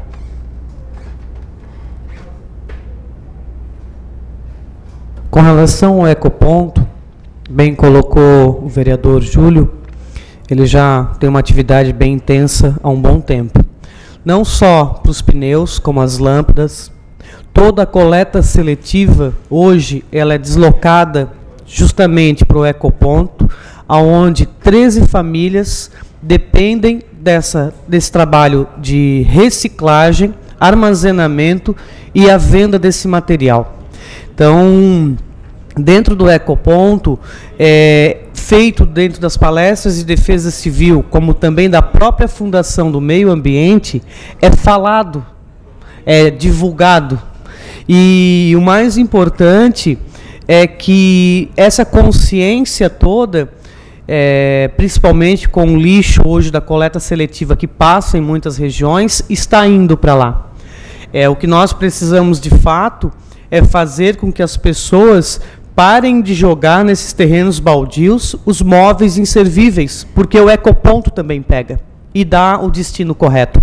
Tivemos uma situação há algum tempo atrás na região da bairro Colonial, aonde algumas empresas de entulhos é, no período da madrugada jogam lixos que deveriam estar indo para a antiga Santec, que está sendo descartado em terrenos baldios para facilitar essa, esse tempo de, de, de, de levar o material seja mais curto e não pagando as taxas. E lá no Ecoponto, todo o material que você hoje quiser levar até lá, ele tem o destino correto. Inclusive, nós tínhamos o um projeto né, do vereador Júlio do Sabão, que era feito é, pela Fundação do Meio Ambiente. Então, a divulgação é feita, inclusive em palestras da própria Fundação Municipal do Meio Ambiente, como também na Defesa Civil, mostrando o que pode e o que não pode ser reciclado hoje em dia. Com a palavra o vereador Dailton Feuser.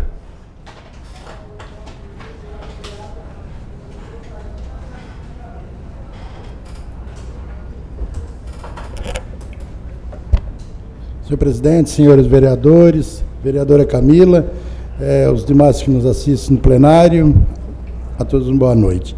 Eh, a maior parte das minhas dúvidas eh, foram tiradas, como fiquei por último, eu também gostaria de reforçar que também estivemos lá no Marcílio Dias e o vereador Ricardo Fábio, há um mês atrás, já tinha falado nessa tribuna a respeito e nada foi feito. Continua igual.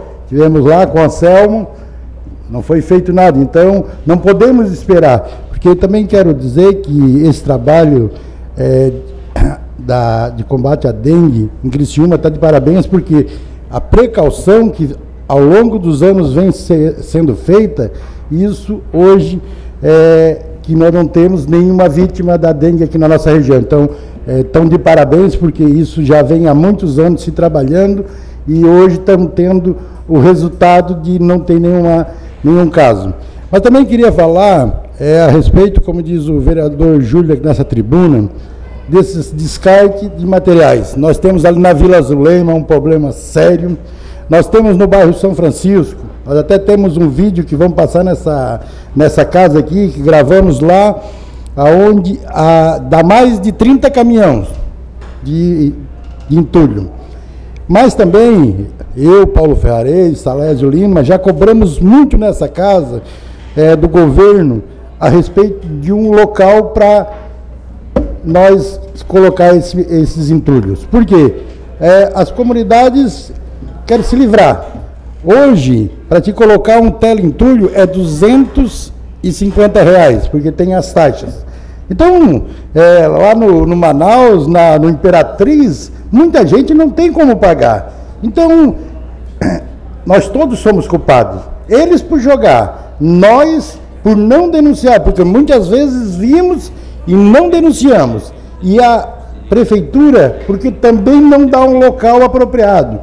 E nós temos aqui, que dentro de pouco tempo teremos que cumprir, que já é Criciúma, já era para ter o seu aterro sanitário. Então, esse aterro deve vir o mais rápido possível. Nós já tentamos vários locais para que poder, que poderiam receber esse, esse descarte desses materiais, porque é, são obras que tu mexe na tua casa na construção e não tem aonde colocar. E para te pagar 250, Muita gente não tem condições. Então, precisamos definir um local urgente para que se possa colocar. Obrigado, senhor presidente.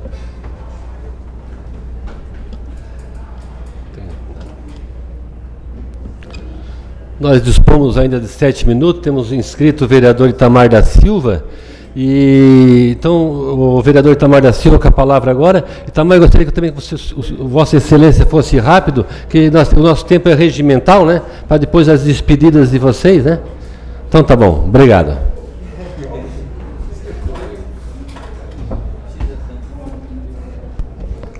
Eu vou ser bem rápido, até porque vou ser um pouco repetitivo pelo que já foi dito aqui, mas conversando ali com o vereador Zilli, um dos vereadores mais antigos dessa casa, basta ver que o cabelo já caiu quase todo. Brincadeira. É, eu tive a oportunidade de conhecer o nosso secretário da Saúde há pouco mais de um mês, né, numa reunião de secretários, quando participei. Eu é, durante os dois, três meses que ele estava na, no cargo de secretário, é, me chamou muita atenção pelo desempenho dele, né, na, no trato com a coisa pública.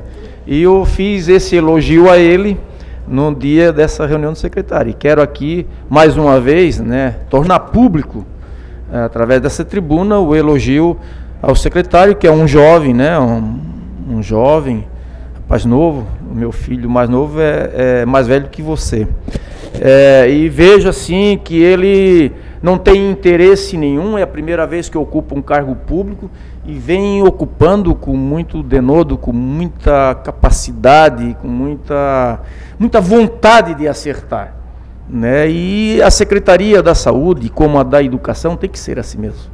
Né? Porque são, normalmente, é, nas casas legislativas, o que é mais cobrado normalmente são das secretarias, ou da educação ou da saúde, ou das duas. Das duas. Né? E felizmente, é, o município de Criciúma, nessas duas secretarias, ele está muito bem servido.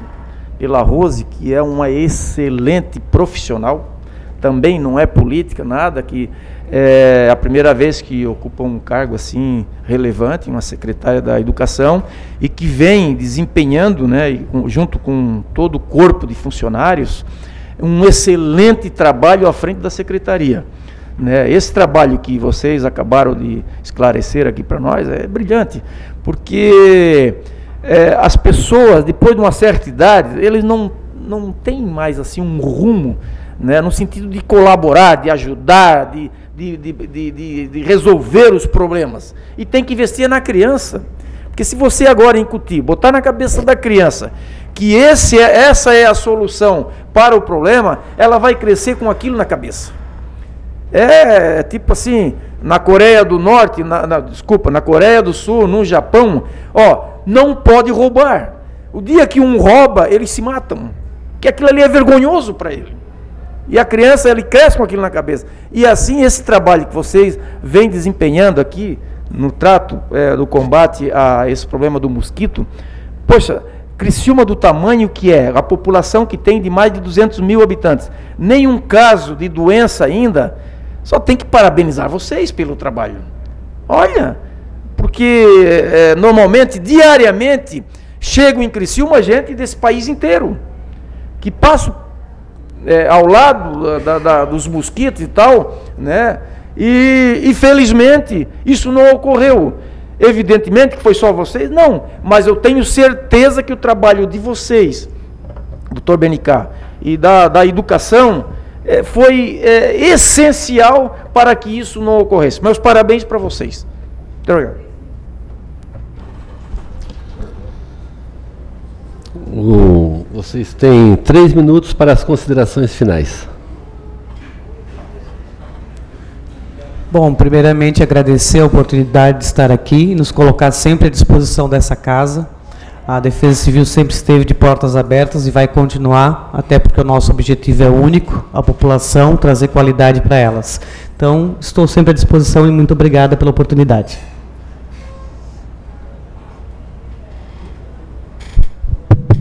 Então, gostaria de agradecer, em nome da secretária Rose, né, a oportunidade, agradecer todas as falas, todas as sugestões, e a gente quer dizer que a Secretaria de Educação está com as portas abertas, né, para todos conhecer os projetos da Secretaria, né. Muito obrigado. Agradeço também a oportunidade e gostaria de deixar a Vigilância em Saúde, então, também à disposição dos senhores para qualquer assunto que a gente possa colaborar. Obrigada. Eu, na condição de secretário, já estive aqui sabatinado outras vezes, né? Então, eu me preocupei ao longo desse meu início de gestão, final de gestão de prefeitura, mais início de gestão em secretariado, em fazer o diagnóstico de todos os problemas cruciais que a saúde da cidade vem sofrendo ao longo de problemas históricos. É, alguns deles terão resolutibilidade como nunca foi visto dentro da saúde de Criciúma. Questões históricas que me indispõem, é, de certa maneira, nas escolhas, mas que elas serão resolutivas, com certeza, de uma maneira é, é, persistente e definitiva. Então, eu sempre me coloquei à disposição dos senhores vereadores para colocar é, em nível de gestão de saúde e conhecimento técnico da causa, de que maneira que a gente vai chegar nesses objetivos, desde contratualização com o hospital até ações diretas relacionadas à Prefeitura de Criciúma, para que a gente construa uma saúde modelo a nível Brasil. Então, não diferente é, no programa da dengue, eu agradeço a vocês pela pela oportunidade de explicação e que vocês, através de sua representatividade, consigam espalhar informações boas e corretas ao longo da população para que gere menos ansiedade e mais informações assertivas. Obrigado. Eu quero agradecer os convidados, ao Rosemar, mande um abraço para a secretária Rose, agradecer a Cristiane Santos da Rosa, agradecer a a Ângela Melo e conto com a sua colaboração, com a sua ajuda para a gente resolver esse problema no bairro Argentina. E um, um, agradecer também a presença do secretário de Saúde, o Benincá.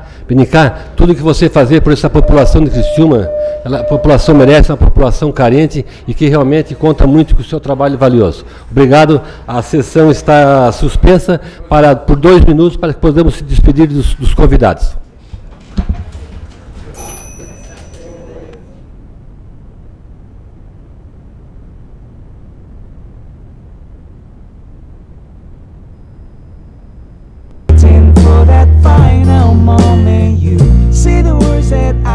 Say.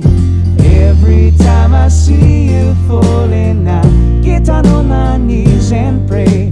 Waiting for that final moment You say the words that I can't say.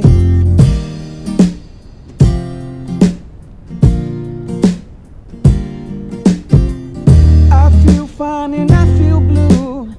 I'm feeling like I never should. Whenever I get this way, I just don't know what to say. Why can't we be ourselves like we were yesterday? I'm not sure what this could mean. And I don't think you're what you seem. And I admit to myself that if I hurt someone else, they will never see what we were meant to be. Every time I see you falling, I get down on my knees and pray. Waiting for that final moment the words that I can't say. Every time I see you falling I get down on my knees and pray. Waiting for that final moment You say the words that I can't say. Every time I think of you I feel shot right through with the photo blues. It's no problem of mine, it's just a problem I find Living a life Every time I see you falling, I get down on my knees and pray, waiting for that final moment. You say the words that I can't say. Every time I see you falling, I get down on my knees and pray, waiting for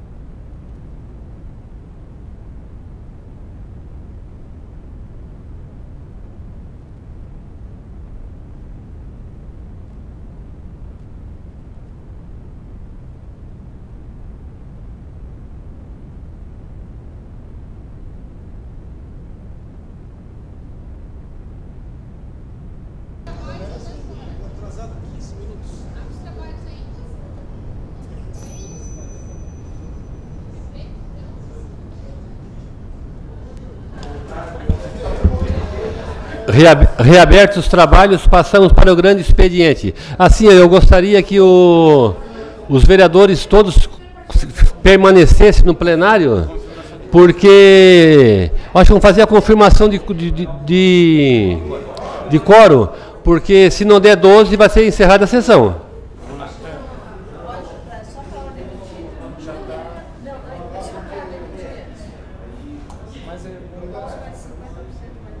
Certo, não?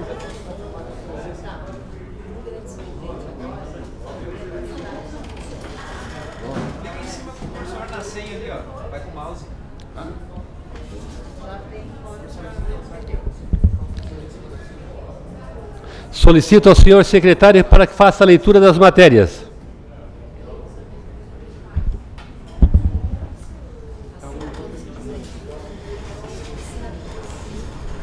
Sessão do dia 15 de 3 de 2016. Resumo das proposições do grande expediente. Indicação 075 barra 2016. Autoria vereador Dailton Freuza. Assunto: revestimento com material consistente na rua 508, no bairro Jardim União.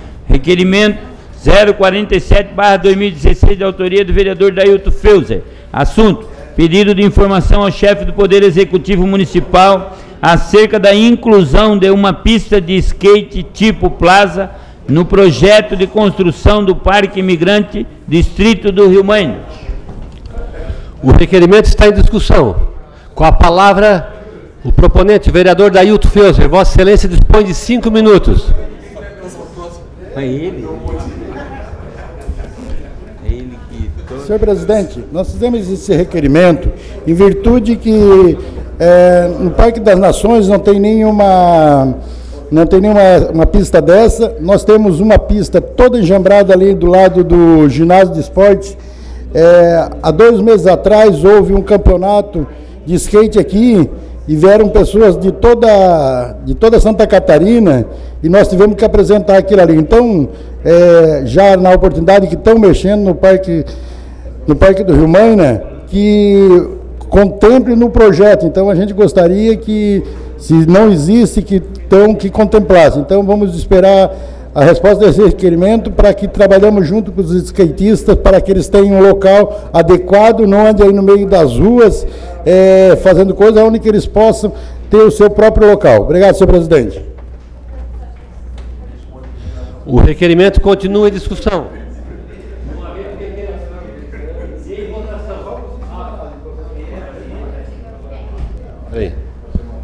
O requerimento continua em discussão. Não havendo quem queira discutir, em votação. Os contrários se manifestem. Aprovado por unanimidade. Requerimento 048-2016, autoria vereador Salésio Lima. Assunto: pedido de informação ao chefe do Poder Executivo acerca do nome das ruas, bairro e extensão que serão pavimentadas com os recursos do Estado. O requerimento está em discussão. Não havendo quem queira discutir, está em, em votação. Os contrários se manifestem. Aprovado por unanimidade. Indicação 076-2016. Autoria, vereador Salésio Lima. Assunto, colocação de placas indicando lombada na Avenida Aristides Zamboni, bairro Renascer, em frente à residência número 347. Indicação 077-2016. Autoria, vereador Salésio Lima. Assunto, substituição da tampa de boca de lobo na calçada localizada na Avenida Centenário, em frente ao número 4081, a pros- proximidades do supermercado Giasse Centro. Indicação 078-2016. Autoria, vereador Paulo- José Paulo Ferrarez. Assunto: construção de uma boca de lobo na Avenida Cocal, de frente à casa número 82, da panificadora Sabor Tropical, bairro Mineira Velha. Indicação 079-2016. Autoria, vereador José Paulo Ferrarez. Assunto: pintura das faixas de pedestre em frente à Escola de Educação Básica Coronel Marcos Rovares, no bairro Pinheirinho. Indicação 080. Autoria, vereador Moacir da Júri. Assunto, revitalização da Praça Lucas Oswaldo Cruz, localizada na rua São Paulo, bairro Próspera. Requerimento 049, barra 2016, autoria vereador José Paulo Ferrarez. Assunto, pedido de informação ao chefe do Poder Executivo acerca da existência de projeto de reforma e revitalização da Escola de Educação Básica Coronel Marcos Rovares, localizada no bairro Pinheirinho. O requerimento está em discussão. Com a palavra, o vereador José Paulo Ferrarese. Vossa Excelência dispõe de cinco minutos.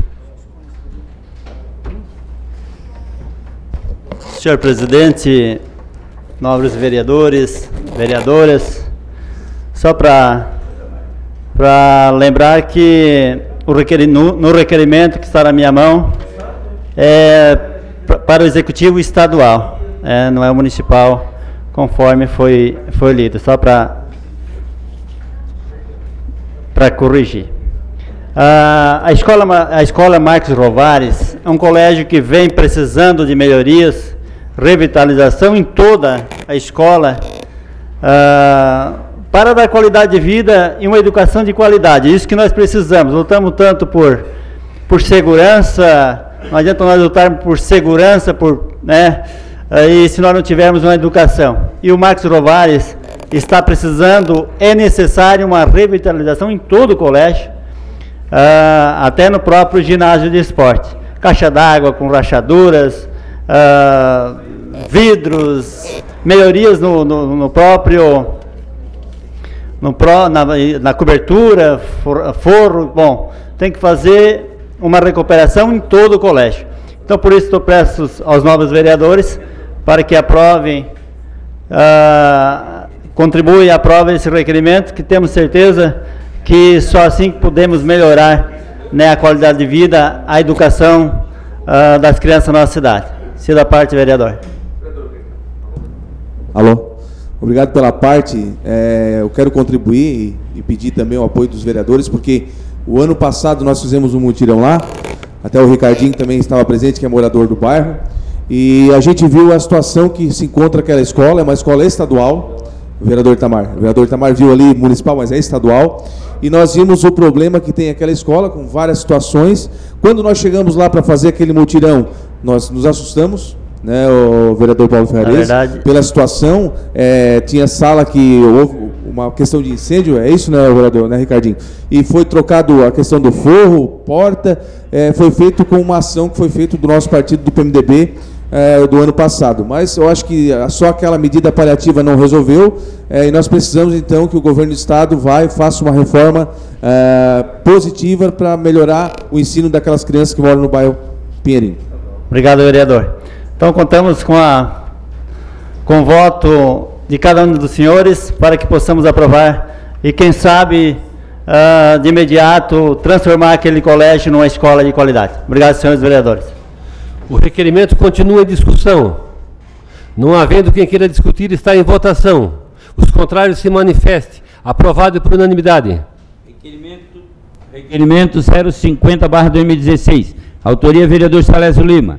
Assunto: pedido de informação ao chefe do Poder Executivo Municipal acerca da existência de projeto para revitalização da Praça Lucas Oswaldo Cruz, localizada na Rua São Paulo, Barro Próspera, com as instalações de academia ao ar livre, lixeiras, bancos e também conserto dos parques infantil e limpeza dos matos.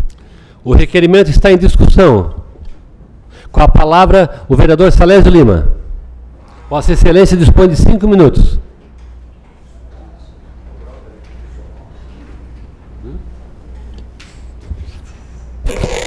Senhor presidente, é, hoje chamado por uma moradora que mora próximo àquela praça, eu me desloquei do outro lado da cidade e fui lá e verifiquei em loco. Inclusive no requerimento eu estou encaminhando as fotos, os bancos, os aparelhos é, do parque todos quebrados, o mato tomando conta, lixo em toda aquela praça.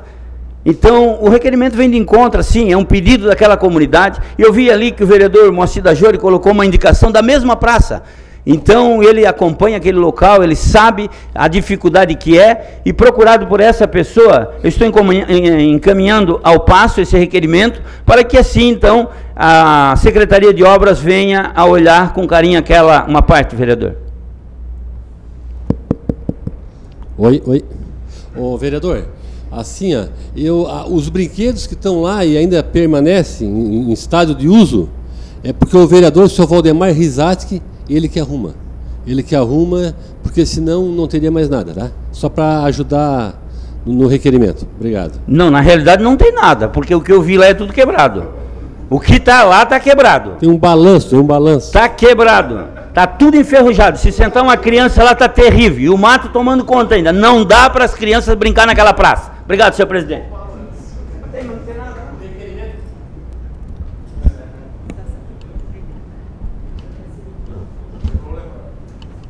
Aperta aí, cara. Pega o meu ali.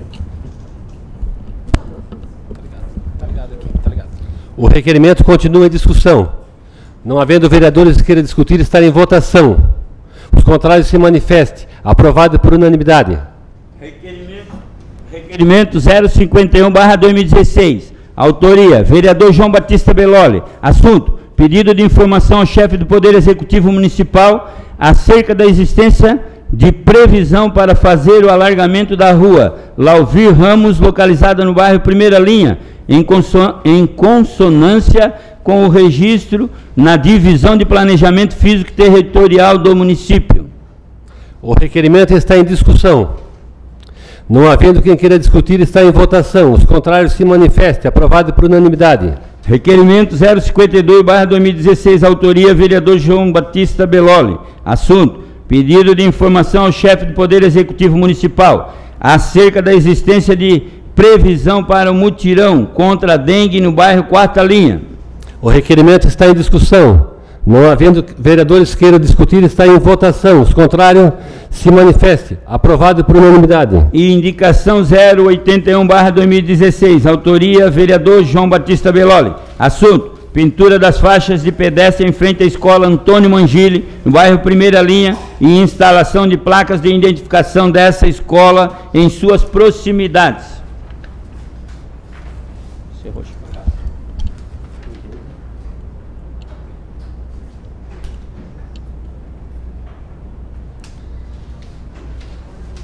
Terminado o grande expediente, passamos para a ordem do dia. Em única discussão e votação, a moção 004-2016, de autoria do vereador José Carlos Melo.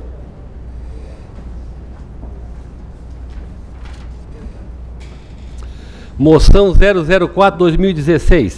Excelentíssimo senhor presidente, senhoras vereadores, senhores vereadores requer-se à mesa, ouvido o plenário e na forma regimental, o envio de expediente ao triatleta, ao triatleta Santiago Mendonça, da presente moção de aplauso conforme segue. A Câmara Municipal de Criciúma, por meio de seus vereadores, vem a público aplaudir o triatleta Santiago Mendonça pela conquista de campeão geral nos 32º Triatlon Internacional de La Paz, Argentina. Em sua 32ª edição, o Triatlo Internacional de La Paz, Argentina, recebeu de mais de 1.200 atletas de países sul-americanos para a disputa. Foram três dias de prova. Na prova principal, composta, composta por 1.500 metros de natação, 40 quilômetros de ciclismo e 10 quilômetros de corrida, Santiago Mendonça conquistou o título inédito, entrando para a história como o primeiro brasileiro a vencer essa tradicional competição, sagrando-se campeão geral. Ante o exposto, ouvido o plenário e atendidas as formalidades regimentais, requeremos que fique constando na ata dessa sessão legislativa moção de aplausos a Santiago Mendonça, enviando-lhe cópia dessa moção com nossos cumprimentos a todos Sala das Sessões, 3 de março de 2016. Vereador José Carlos Melo. A, mo a moção está em discussão. Com a palavra o vereador José Carlos Melo. Vossa Senhoria dispõe de 10 minutos.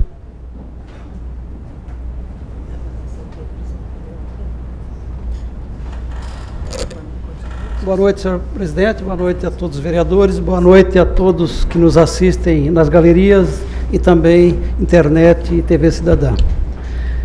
Triatleta Santiago Mendonça. É com muita alegria e satisfação que hoje a Câmara de Vereadores de Criciúma tem a oportunidade de aplaudi-lo, juntamente com seus familiares, amigos e alunos aqui presentes através da moção de aplauso que será votada neste momento. Você é merecedor por mais esta vitória, sendo o primeiro triatleta que conquistou este título do Triatlo é, Internacional de La Paz, na Argentina, para o Brasil. Então eu gostaria de relembrá-los, senhores vereadores, que o triatleta Santiago Mendonça ele também foi o idealizador e organizador, juntamente com outros parceiros, do evento é, que ocorreu recentemente em nossa cidade, que foi a primeira maratona de Criciúma, no mês de setembro de 2015, onde reuniu mais de 1.500 corredores de rua. O estímulo que o triatleta Santiago Mendonça trouxe para a cidade de Criciúma, através desse título, é que nos enche de orgulho, pois serve de exemplo onde as famílias, os jovens, as crianças, os adultos e os de melhor idade, eles possam se espelhar e buscar incentivo por uma vida mais saudável através do esporte, qualquer tipo de esporte. Peço humildemente aos senhores vereadores e vereadora que aprovem então esta, esta moção de aplauso é, e incentive ainda mais o triatleta Santiago Mendonça. Senhor presidente, é, eu solicito então que após a votação, que o nosso homenageado possa receber aqui na frente, juntamente com seus acompanhantes. Muito obrigado. A moção continua em discussão. Com a palavra o vereador Pastor Jeves Manuel.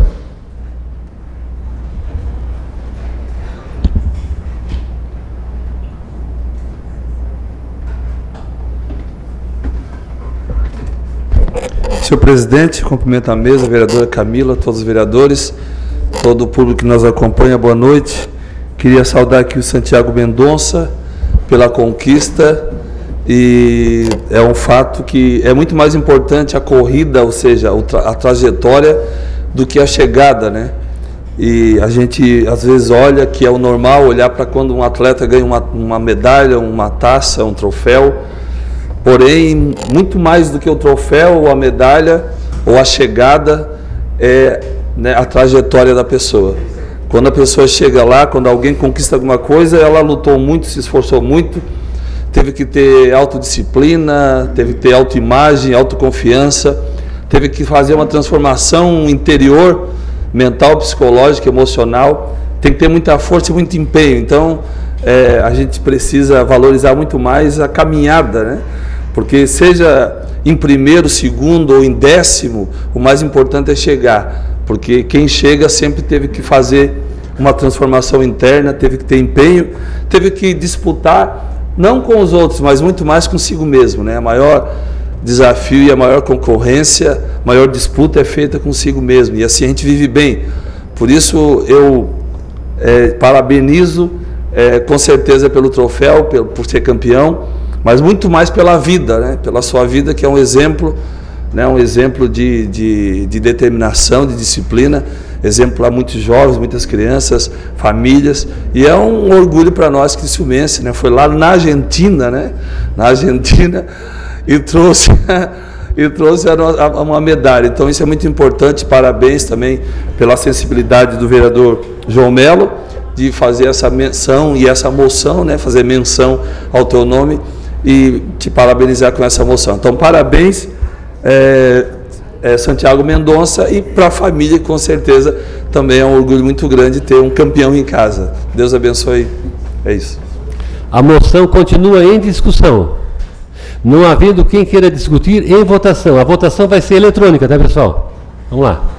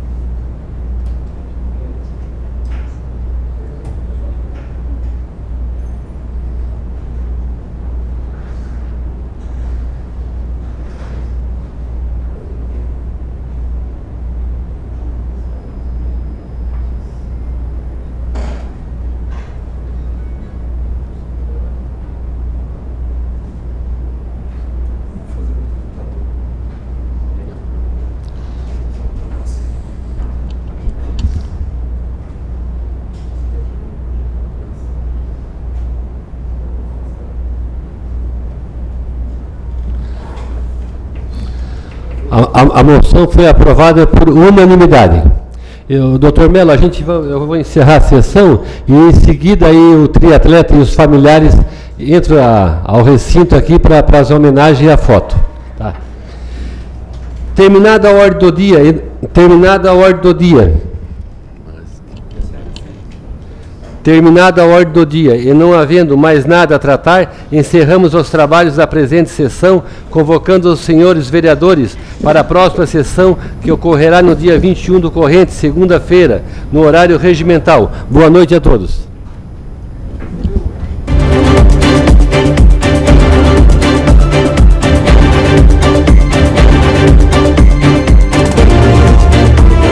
TV Cidadã. Mais transparência para Criciúma. Mais informação para você.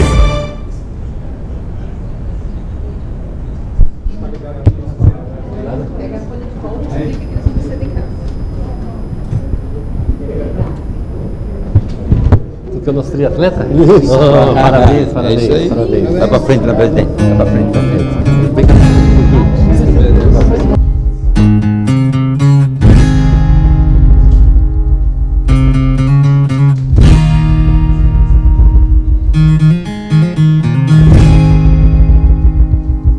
By the rivers of Babylon, where we sat down and Quero parabenizar o triatleta, seus familiares, ao Dr. Melo, que fez essa moção, e eu passo a palavra para o Dr. Melo, que foi o proponente da moção. Muito obrigado, presidente. Então, está de parabéns o triatleta e também todos os seus familiares. Você nos representou lá fora, você é orgulho de nossa cidade. Continue e que você tenha outras vitórias lá na frente, porque eu sei que quem chegou a primeira vez, com certeza chegará outras. Parabéns a todos, a familiares e a você especialmente. Muito obrigado.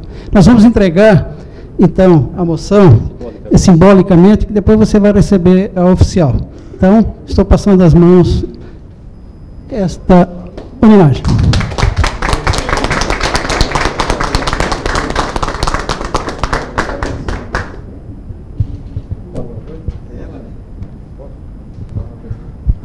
Oi, é, boa noite a todos, muito obrigado pela homenagem e eu vou corroborar com a, o discurso do pastor Jeves que realmente não é só ser campeão e sim toda a trajetória que a gente passa aí treinando e muita gente já deve ter me visto na Centenário correndo ao meio-dia, que é o horário que eu tenho mesmo para treinar, então eu não, eu não sou atleta profissional, então eu treino nos horários que eu consigo.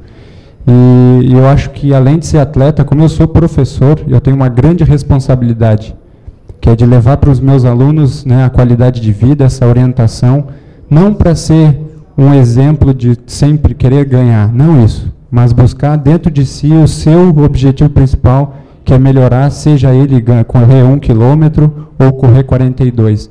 Então, isso que eu tento plantar em cada sementinha nos meus alunos, que é tentar né, sempre né, passando pelos objetivos e concretizando sonhos.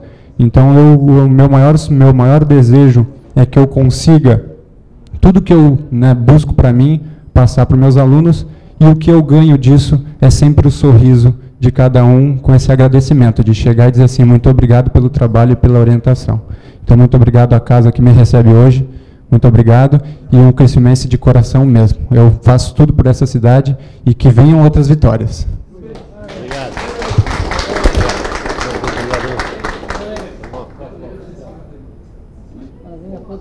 Parabéns, tá, querida?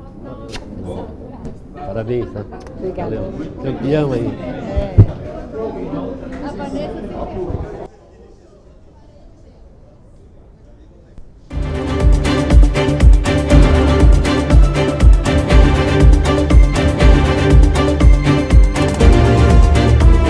TV Cidadã.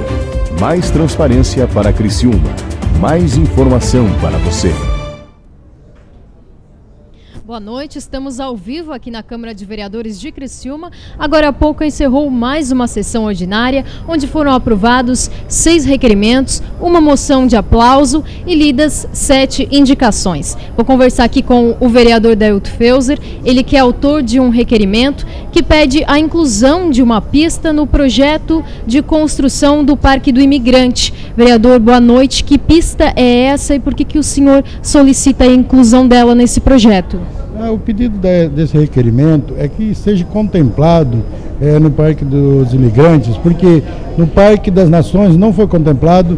Criciúma, há, há uns dois meses atrás, recebeu uma competição de skatistas. Nós temos ali uma, uma pista toda enjambrada, então é necessário que uma cidade do porte de Criciúma tenha uma pista decente para que tiremos os skatistas da rua, que tenha o seu lugar onde possa estar fazendo o seu treinamento, aonde podemos desenvolver campeonatos e trazer uma, uma, uma melhor imagem da cidade para Criciúma.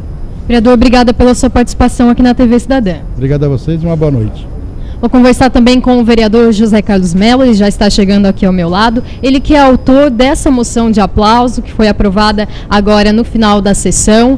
É, vereador, é, por que, que o Santiago, né, o homenageado, por que, que ele é, merece essa homenagem, essa moção de aplauso? Boa noite. Boa noite. Então, é, o triatleta Santiago, ele participou agora recentemente de um triatlo, ou seja, de uma prova em que são três provas, né, natação, corrida e também ciclismo, e conseguiu o primeiro lugar dentre 1.500 participantes. Então é um orgulho para a nossa cidade tê-lo aqui né, é, fazendo com que o nome de Criciúma seja também lançado internacional, de forma internacional. Vereador, obrigada pela sua participação aqui na TV Cidadã. Ok, boa noite. Vou conversar também com o vereador Tita Beloli, ele já está chegando aqui ao meu lado, e ele é autor do requerimento que solicita aí um mutirão contra a dengue lá no bairro Quarta Linha. Como é que está essa situação nessa região, vereador? Boa noite. Boa noite, boa noite a todos que nos assistem. Bom, a nossa região, ela já teve um foco que foi encontrado no bairro Morro Estevão, e agora, algumas semanas atrás, foi encontrado um foco também no bairro Quarta Linha. Então nós pedimos, né, a, através do requerimento, e já aproveitamos a oportunidade que ele esteve aqui na casa hoje, para que se faça um mutirão também no bairro Quarta Linha, né? Porque nós precisamos é, proteger a nossa sociedade. Então, que se, como se foi feito no Morro Estevo, então que se faça também no bairro Quarta Linha. Vereador, obrigada pela sua participação aqui na TV Cidadã. Obrigado e uma boa noite a todos. Está chegando aqui ao meu lado também o triatleta Santiago Mendonça, ele que recebeu a moção de aplauso durante a sessão na noite de hoje. Santiago, boa noite. Como é que você se sente recebendo essa homenagem? Boa noite, eu me sinto muito honrado da cidade que eu escolhi para morar, né, me homenagear desse jeito numa competição que eu vinha buscando há algum tempo. Então foi uma competição realmente, como falaram, é uma competição internacional, né, de nível sul-americano e das 32 edições eu fui o primeiro brasileiro, espero não o único, mas o primeiro brasileiro a vencer e aí colocar a Criciúma de novo, né, mais uma vez aí no cenário brasileiro e internacional do triatlo.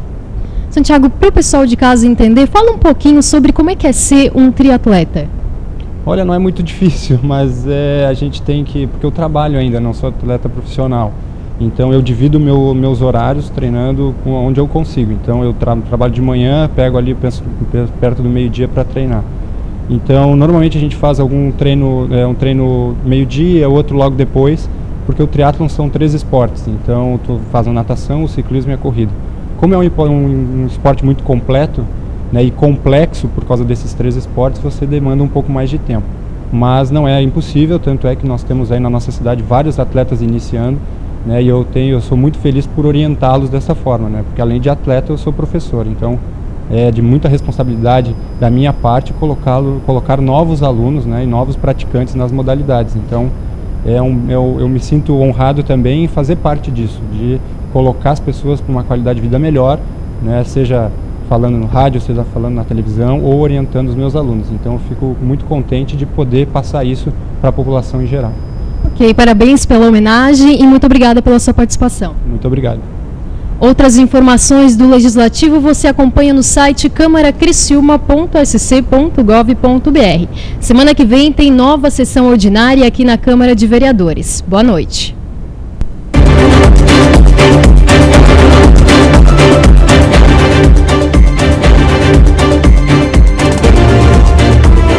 TV Cidadã. Mais transparência para Criciúma. Mais informação para você.